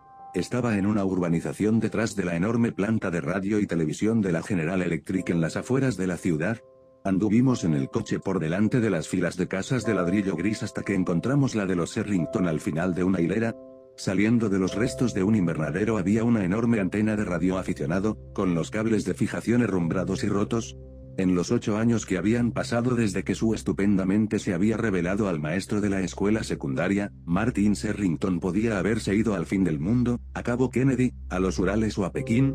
En realidad, no solo no estaban allí ni Martin ni sus padres sino que nos llevó dos días encontrar a alguien que los recordara. Los actuales ocupantes de la casa, una pareja mal vestida, hacía dos años que estaban allí, y antes de ellos había vivido en ese sitio una familia de tendencias delictivas que los alguaciles y la policía habían echado a la fuerza. El director de la escuela se había jubilado y vivía en Escocia. Afortunadamente, el ama de llaves de la escuela recordaba a Martin, un chico brillantemente inteligente, todos estábamos orgullosos de él, pero la verdad es que no puedo decir que le tuviéramos mucho afecto. No lo despertaba. No sabía nada de la señora Serrington, y en cuanto al padre del niño, suponían que había muerto en la guerra. Finalmente, gracias a la cajera de la compañía de electricidad local, descubrimos a dónde se había mudado la señora Serrington. En cuanto vi el agradable chalet de paredes blancas en aquel próspero suburbio del otro extremo de Canterbury, sentí que la búsqueda se estaba animando, la grava limpia y el jardín grande de arbustos recortados me recordaron otra casa, la de Georges Duval en las afueras de París. Por encima del techo de mi coche estacionado junto al seto, miramos a una mujer bella, de espaldas fuertes, que paseaba entre los rosales. La situación de Martin ha mejorado, comenté. ¿Quién paga esta casa? El encuentro fue curioso, esa mujer de cerca de 40 años, sencilla y discretamente vestida, nos miró por encima del plateado servicio de té como una Mona Lisa domesticada. Nos dijo que no teníamos ninguna posibilidad de entrevistar a Martin en la televisión. Su hijo despertó tanto interés en su momento, señora Serrington. ¿Nos puede hablar de su posterior carrera académica? ¿A qué universidad asistió? La educación de mi hijo se completó de manera privada, en cuanto al actual paradero de Martin, creía que estaba en el extranjero, trabajando para una gran organización internacional cuyo nombre no estaba autorizada a divulgar.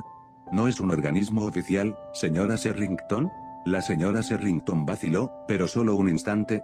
Me han dicho que esa organización está íntimamente relacionada con varios gobiernos, pero no lo sé con certeza.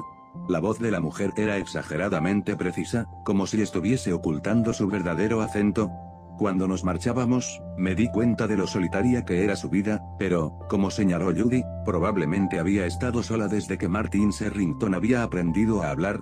Nuestro viaje a Alemania fue igualmente vano. No quedaba ningún rastro de Wolfgang Herter. Algunas personas en la pequeña aldea cerca del autobahn de Frankfurt lo recordaban aún, y el cartero de la aldea dijo que Frank Herter se había trasladado a Suiza.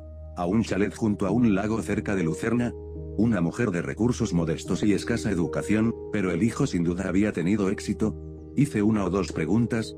El padre de Wolfgang, Frau Herter había llegado con el niño justo después de la guerra, el marido probablemente había perecido en uno de los anónimos campamentos de prisioneros o en los campos de batalla de la Segunda Guerra Mundial. ¿El hombre semicalvo con el traje gris claro? Sí, no cabía duda de que había ido a la aldea y ayudado a Frau Herter a organizar la partida. Regresamos a Londres, le dije a Judy, Para esto hacen falta recursos muy superiores a los nuestros. Mientras volábamos de vuelta, Judy dijo, hay algo que no entiendo. ¿Por qué han desaparecido siempre los padres? Buena pregunta. Para decirlo de un modo grosero, cariño, esos chicos son producto de un acople genético único. Casi da la sensación de que alguien rompió por el medio el mapa del tesoro y se quedó con una mitad. Piensa en el banco que están construyendo, donde hay suficiente esperma sobre hielo en un cóctel eugenésico para repoblar todo el planeta. Iba pensando en esa perspectiva pesadillesca cuando a la mañana siguiente entré en el despacho de Charles Whitehead. Era la primera vez que veía a Charles en mangas de camisa.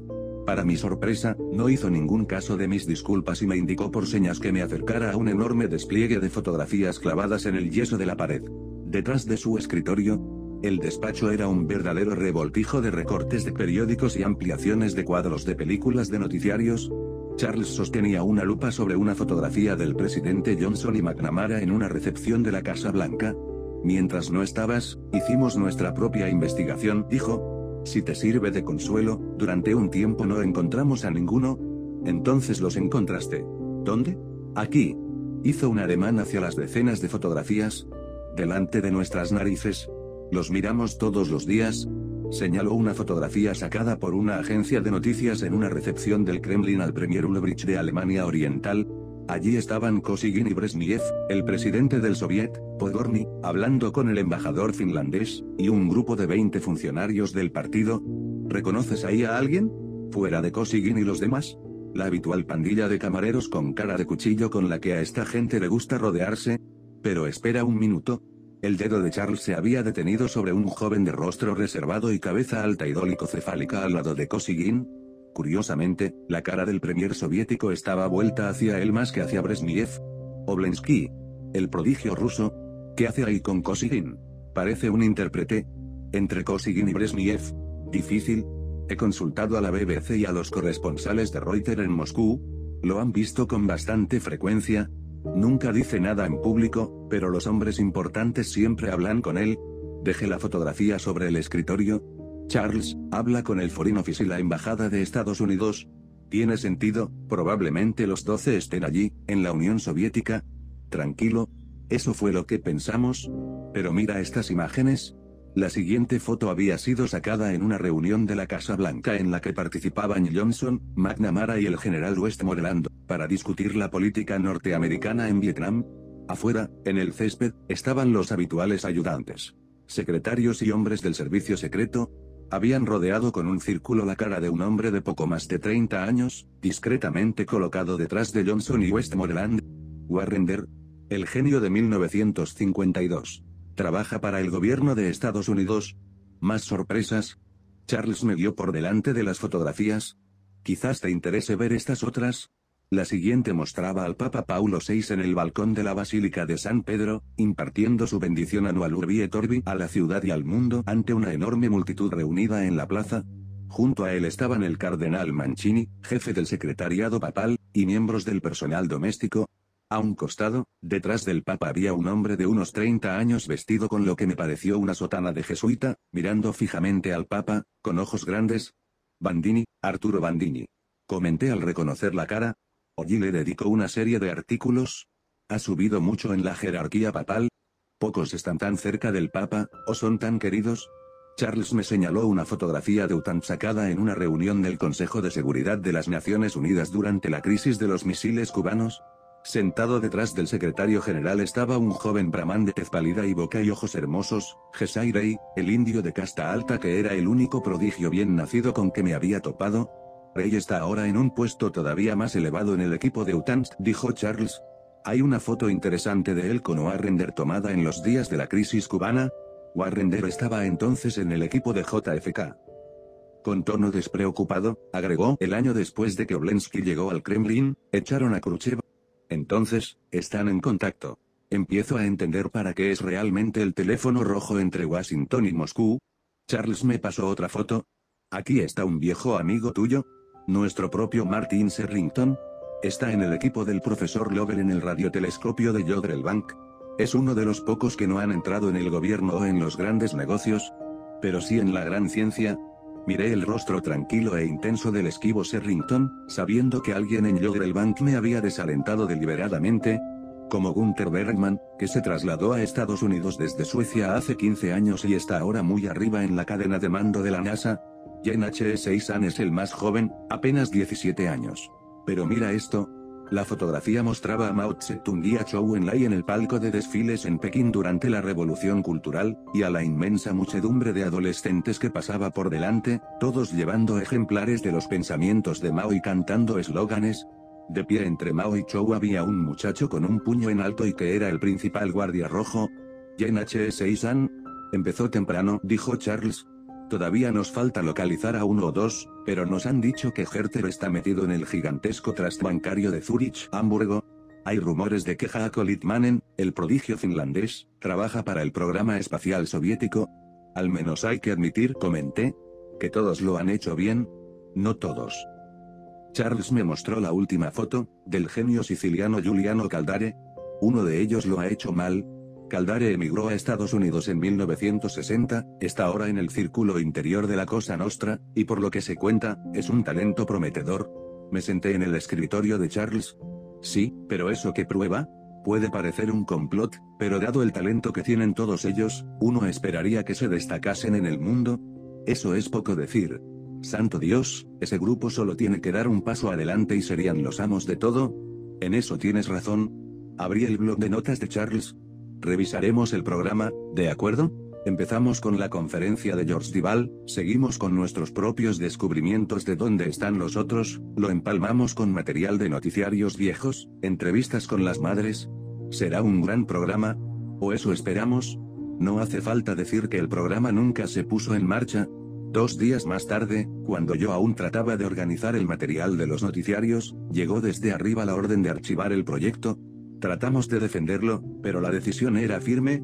Poco después cancelaron mi contrato con Horizon, y me encomendaron la tarea de preparar una nueva serie para niños sobre grandes inventores. A Charles lo mandaron a Golf Internacional. Desde luego, a ambos nos pareció evidente que habíamos llegado demasiado cerca. Y que alguien se había sentido incómodo, pero poco podíamos hacer, Tres meses más tarde hice un viaje hasta el radiotelescopio de Bank con un grupo de periodistas científicos, y vi fugazmente a Martin Serrington, un hombre alto y bien parecido que miraba alrededor con ojos duros mientras el profesor Lovell daba su conferencia de prensa. Durante los meses siguientes estuve atento a los periódicos y los noticiarios de televisión. Si había un complot, que proyectaban hacer, Allí estaban, sentados detrás de los grandes hombres del mundo, con las manos preparadas para aferrar las palancas del poder, pero una dictadura global sonaba improbable. Al menos dos de ellos parecían oponerse a la autoridad establecida. Aparte de Caldare en la Cosa Nostra, George Dival había utilizado espectacularmente su talento musical, convirtiéndose en menos de un año en el mayor cantante francés de música YEYE, eclipsando a los Beatles como líder de la joven generación psicodélica, puesto que estaba al frente del movimiento mundial de protesta, era odiado por la policía de una docena de países pero idolatrado por los adolescentes desde Bangkok hasta Ciudad de México.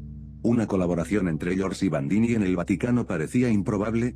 Además, nada de lo que pasaba en el mundo en general hacía pensar que los miembros del grupo estuviesen desempeñando papeles que no fueran benignos, el enfrentamiento nuclear evitado durante la crisis de los misiles cubanos, la caída de Khrushchev y la distensión ruso-norteamericana, las propuestas de paz en Vietnam. La política de liberalización del Vaticano en temas como el control de natalidad y el divorcio, aún el movimiento de los guardias rojos y el caos consiguiente eran quizás un modo sutil de desviar la militancia china en un momento en el que podía haber intervenido en Vietnam. Tres meses después, Charles Whitehead me llamó por teléfono. Hay una nota en Der Spiegel, dijo con estudiada indiferencia. Pensé que podía interesarte. ¿Han descubierto a otro genio? Estupendo, dije. Haremos un programa sobre el tema, lo de siempre, supongo. Claro que sí. La misma frente y los mismos ojos, la madre que perdió al marido hace años. Nuestro amigo en el chalet. Pero el muchacho parece realmente brillante.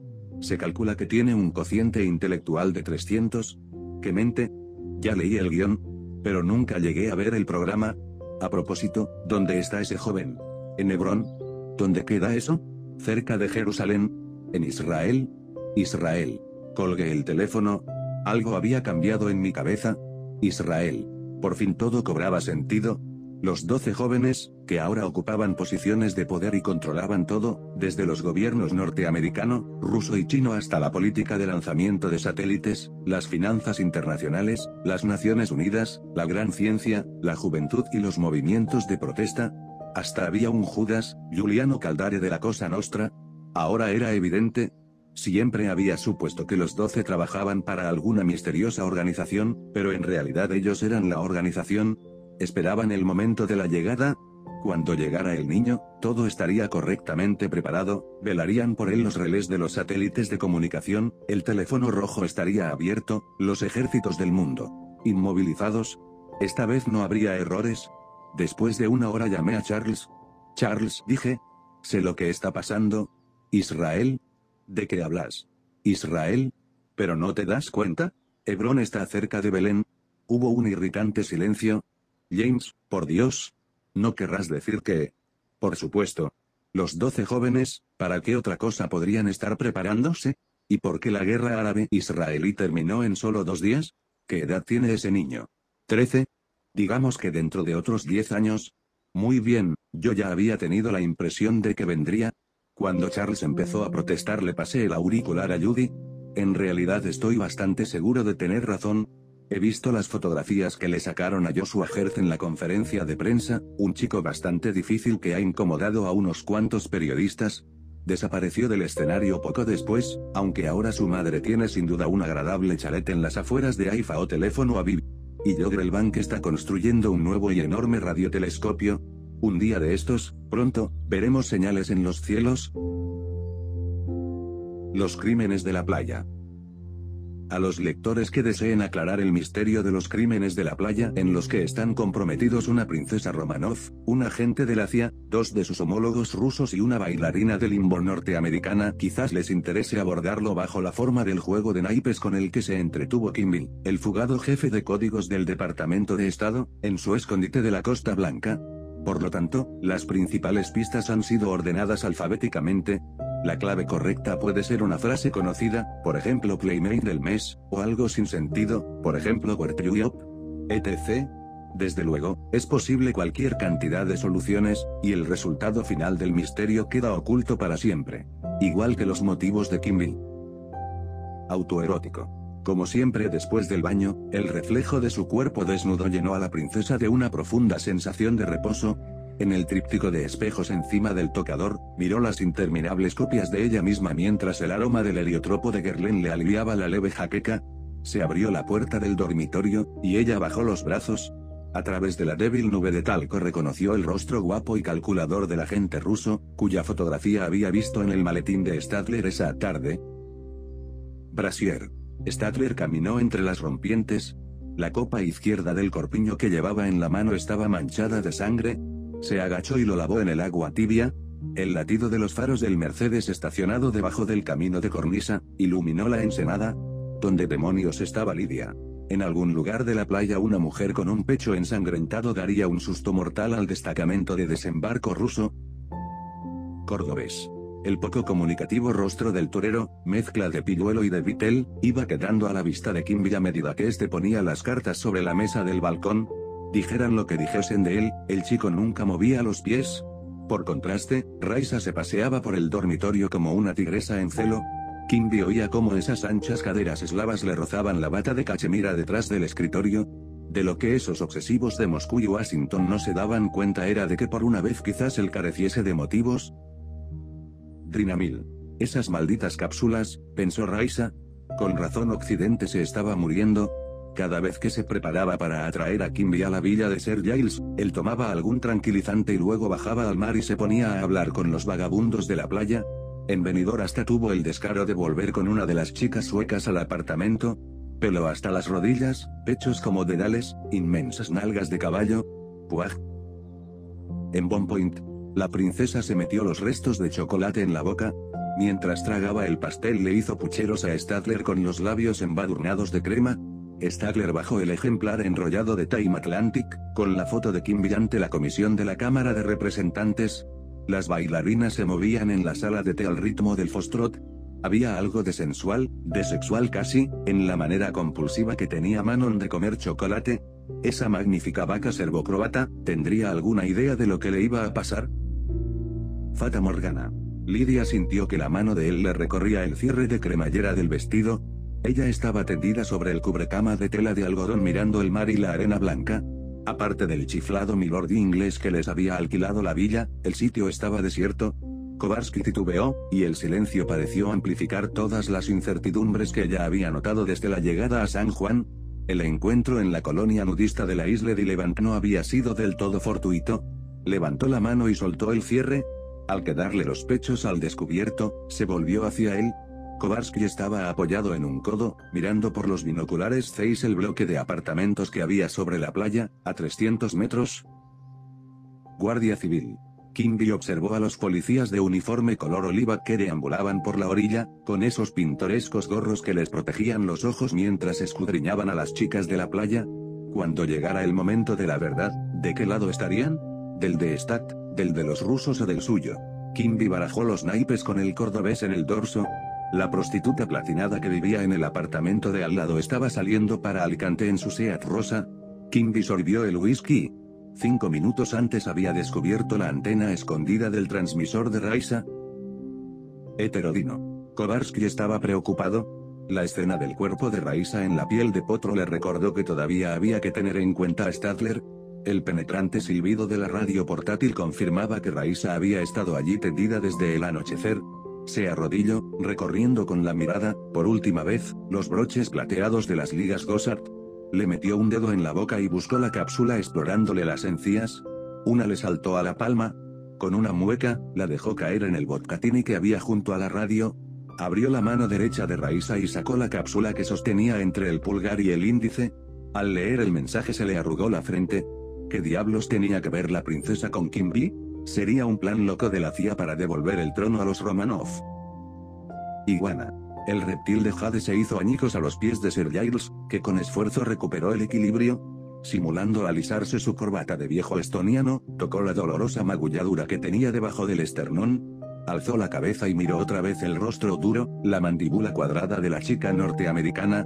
¿Volvería a golpearlo? La chica lo miraba con ferocidad y desprecio plantada sobre la piel de potro, las piernas separadas y los pies descalzos. Bueno, pensó él, se habían vivido momentos peores. En Dunkerque, las bombas que caían de los estucas habían hecho tamborilear la playa como una pista de baile. Jazmín. Stackler miró fijamente las flores blancas, con forma de bandeja, que había en el vestíbulo, los nacarados pétalos, totalmente incoloros, le recordaron la piel de Manon, y luego el rostro grande y pálido de Kimby, los ojos demasiado inteligentes que miraban por encima de las mejillas hundidas con expresión de Buda sarcástico. Era justo el intercambio, la princesa por el complejo y malhumorado jefe de códigos. Salió por la puerta giratoria del hotel al brillante sol de Alicante, y sintió una punzada al darse cuenta de que nunca volvería a ver a Manon. Kleenex, Raisa se inclinó hacia adelante sobre la cama. Con el dedo anular de la mano derecha se levantó el párpado. Por un momento la elegante máscara de la cara se le retorció imitando a un periquito obsceno. Apretó el párpado inferior y la microlente brotó del tejido. La diminuta R del borde brilló al rayo de la lámpara. Limpió las lentes y las colocó en el polarímetro. Cuando se abrió la puerta de la caja fuerte, mostrando los mandos del transmisor, escuchó a Kimby que cantaba a Rivederci Roma en el baño, todo ese drinamil y whisky mantendrían al cerdo medio dormido durante al menos una hora. Limbo. La barra había estado a unos 40 centímetros del suelo, recordó Kovarsky, cuando sintió la dura curva de la cresta ilíaca de Lidia debajo de los pantalones elásticos de color azul medianoche. Por una vez el club nocturno de Benidorm estaba en silencio, todos miraban cómo esa demente chica norteamericana de muslos increíbles se había metido debajo de la barra, sacudiendo las caderas al compás del tocadiscos automático, Kovarsky se hurgó la nariz, pensando involuntariamente en Stat. El hombre de la CIA tenía cara de hielo. Mercedes. ¿No funcionaban los servos de los frenos? Sin soltar el freno de mano, Lidia buscó a tientas por detrás del pecho de Kovarsky la manija de la puerta derecha. El ruso estaba apoyado en el marco de la ventanilla, el rostro bien parecido empezaba a colgarle como el primer desprendimiento de una luz. Al abrirse la puerta, cayó hacia atrás sobre la grava, Lidia soltó el freno de mano y dejó que el coche avanzara. Cuando perdió de vista a Kovarsky subió el vidrio de la ventanilla, elegantemente adornada con la estrella de la bala que la había atravesado. Hizo una última seña con los faros y puso en marcha el motor. Napolitano. Raisa terminó los restos del helado de Kimby con ansiosos labios de niño. En tres horas estarían a seis brazas de profundidad en el Mediterráneo, preparándose para emerger en el Báltico por primera vez. Echaría de menos el sol y los menudos y morenos españoles, que la seguían con ojos melancólicos mientras bajaba por la calle polvorienta hacia la bodega. A la larga valdría la pena. Tira el mantan, como recitaba a veces Kovarsky parodiando a Evtusenko, el cielo pronto se llenará de soles. Oceánida. Por un momento, Manon comprendió que Kovarsky estaba indeciso entre violarla y matarla. Retrocedió metiéndose en el baño, cubriéndose con la mano izquierda los pechos empolvados, el vapor atrapado ondeó hacia la cara de Kovarsky, que miró con ojos desorbitados, como un estudiante loco en una novela de Dostoyevsky. Atravesó la estera de corcho y sujetó a Manon por el codo, con un gesto sorprendentemente tierno. Entonces la jabonera de alabastro golpeó a la mujer en el costado de la cabeza. Un segundo más tarde estaba tendida en el baño, y los brazos de Kovarsky se movían sobre su cabeza como pistones. Poseidón. Kimby manejó la botella de Black Label con el respeto que venía de un largo conocimiento mutuo. El océano protoatlántico había cubierto toda Norteamérica y Europa, menos Escocia, dejando intacto un sistema de filtro de 300 millones de años de antigüedad. Mientras llenaba el vaso miró la villa de Sir Giles en el peñasco encima de la ensenada. El ruso moreno y su picnic norteamericana se habían mudado allí el día anterior. Stat estaba sin duda en el Carlton de Alicante, Kimby dispuso los naipes para la última partida. Sería una mano difícil, pero por suerte todavía era él quien repartía las cartas. Quietus. Statler moría en el oleaje oscuro. Cuando el contramaestre ruso lo dejó ir flotando en las aguas poco profundas, él pensó en la princesa y sus inmensos pezones pardos. ¿Llevaría ella entonces un niño en las entrañas, manteniendo vivos los menguantes recuerdos del imperio austrohúngaro? Los ardientes restos del Mercedes brillaban sobre el agua, iluminando los cuerpos de los dos rusos que eran arrastrados hacia el bote. Statler quedó tendido boca arriba en el agua fría mientras la sangre se le derramaba en el mar. Remington. Lydia se arrodilló junto a la máquina de escribir portátil. En el patio, debajo de la ventana del dormitorio, Sir Giles partía para Alicante en su destartalado Citroën. Ese viejo y nervioso cabrón, no pensaban los ingleses en ninguna otra cosa, Quitó la tapa de la máquina de escribir y luego miró la cinta nueva que había puesto mientras Kovarsky estaba en San Juan. Las letras impresas brillaban a la luz del sol. Las anotó en el blog, luego arrancó la hoja y se la metió en la copa izquierda del corpiño. Smith Wesson. Kovarsky anduvo a ciegas en la oscuridad entre las dunas. Allí abajo, las olas rompían en la playa como un chal de encaje. Toda la operación se estaba yendo a pique. Raisa ya tendría que haber llegado con Kimball. Subió por la cuesta hasta el Mercedes. Mientras buscaba a tientas la pistola en la guantera, algo se movió en la grava a sus espaldas. El fogonazo del disparo alumbró el interior del coche. Kovarsky cayó de lado sobre el asiento. La segunda bala le atravesó el pecho y se incrustó en la puerta derecha. Tranquilizante. Statler abrió la cápsula y sacó el papel doblado, en el botcatini intacto de Raisa, el papel de arroz estalló como una flor acuática japonesa. Lo pescó con el escarbadientes. Así era, entonces, como establecían contacto. Miró el cuerpo tendido en la piel de potro y sonrió para sus adentros. Con suerte, Kovarsky se tragaría literalmente sus propias palabras. Mientras daba vuelta a la chica rusa con el pie, de la boca de ella cayó una cereza. Se la metió de nuevo entre los labios y fue hasta la máquina de escribir. Ultravioleta. Con un suspiro, la princesa dejó caer las gafas sobre el tocador. A pesar de sus esfuerzos, de los meses de verano bañándose en la costa azul antes de su encuentro con Stat, su piel seguía siendo tan blanca como los jazmines del vestíbulo. Por las venas le corría la sangre enferma de los Romanov, aunque ya había pasado el momento de vengar a Ekaterimburgo. ¿Stat se daría cuenta de eso? Velocidad de onda. 6.000 metros por segundo, suficiente para hacer volar a Stad por la ventanilla trasera del Mercedes. Kovarsky levantó la capota y colocó la bomba en la ranura detrás de la batería. Miró por encima del hombro la oscuridad que cubría el mar. A dos millas de distancia, donde comenzaban las aguas profundas, estaría esperando el submarino, el destacamento de desembarco acurrucado junto a la lancha, debajo de la torreta.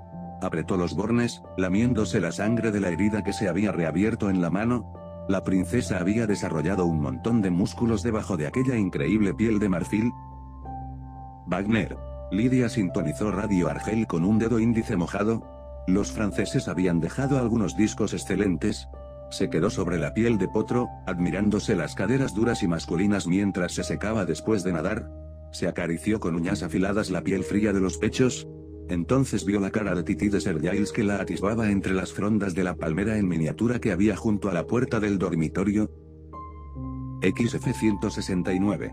Los datos de rendimiento de Lockheed serían un plus útil, pensó Raisa mientras deslizaba las largas piernas dentro de los pantalones elásticos. La cuenta abierta en Gun y la dacha en Crimea empezaban a ser una clara posibilidad. La puerta se abrió a sus espaldas. Sifón en mano, Kimby clavó la mirada en la figura semidesnuda, sin pensar, ella se cubrió los pechos con las manos. Por una vez, la cara de él registró una expresión de sorprendente inteligencia. Yardley. Sir Giles recurrió a la loción de Stadler para después de afeitarse. Miró a la princesa. Incluso teniendo en cuenta la estatura de ella, la cantidad de sangre derramada era increíble. El desconcierto le hizo arrugar el rostro enjuto al encontrar esos ojos inexpresivos que miraban fijamente la ducha, Escuchó los sonidos distantes del tránsito que atravesaban la suite vacía. Hizo funcionar la ducha. Cuando las gotas salpicaron la piel roja de la mujer, la magnificencia del cuerpo blanco trastornó a Sir Giles. Zeitgeist. Las grandes aspas del Sikorsky de la Guardia Civil golpeaban el aire encima del bloque de apartamentos. Kimby se inclinó y recogió dos de los naipes del suelo embaldosado. Allá abajo. En la calle de la playa, los policías de tránsito españoles convergían donde estaban los restos del Mercedes. Kimby se sentó mientras el helicóptero se alejaba atronando en la oscuridad. Bien mirado, todo había salido bien. La cara del cordobés lo seguía observando desde el dorso de los naipes. Sobre la sierra se elevaba una luna llena. En el supermercado de Alicante las caderas de las chicas del mostrador se movían al compás de Trini López. En la bodega, el vino costaba solo 10 pesetas el litro, y el hombre de la baraja todavía mandaba en el juego. Fin.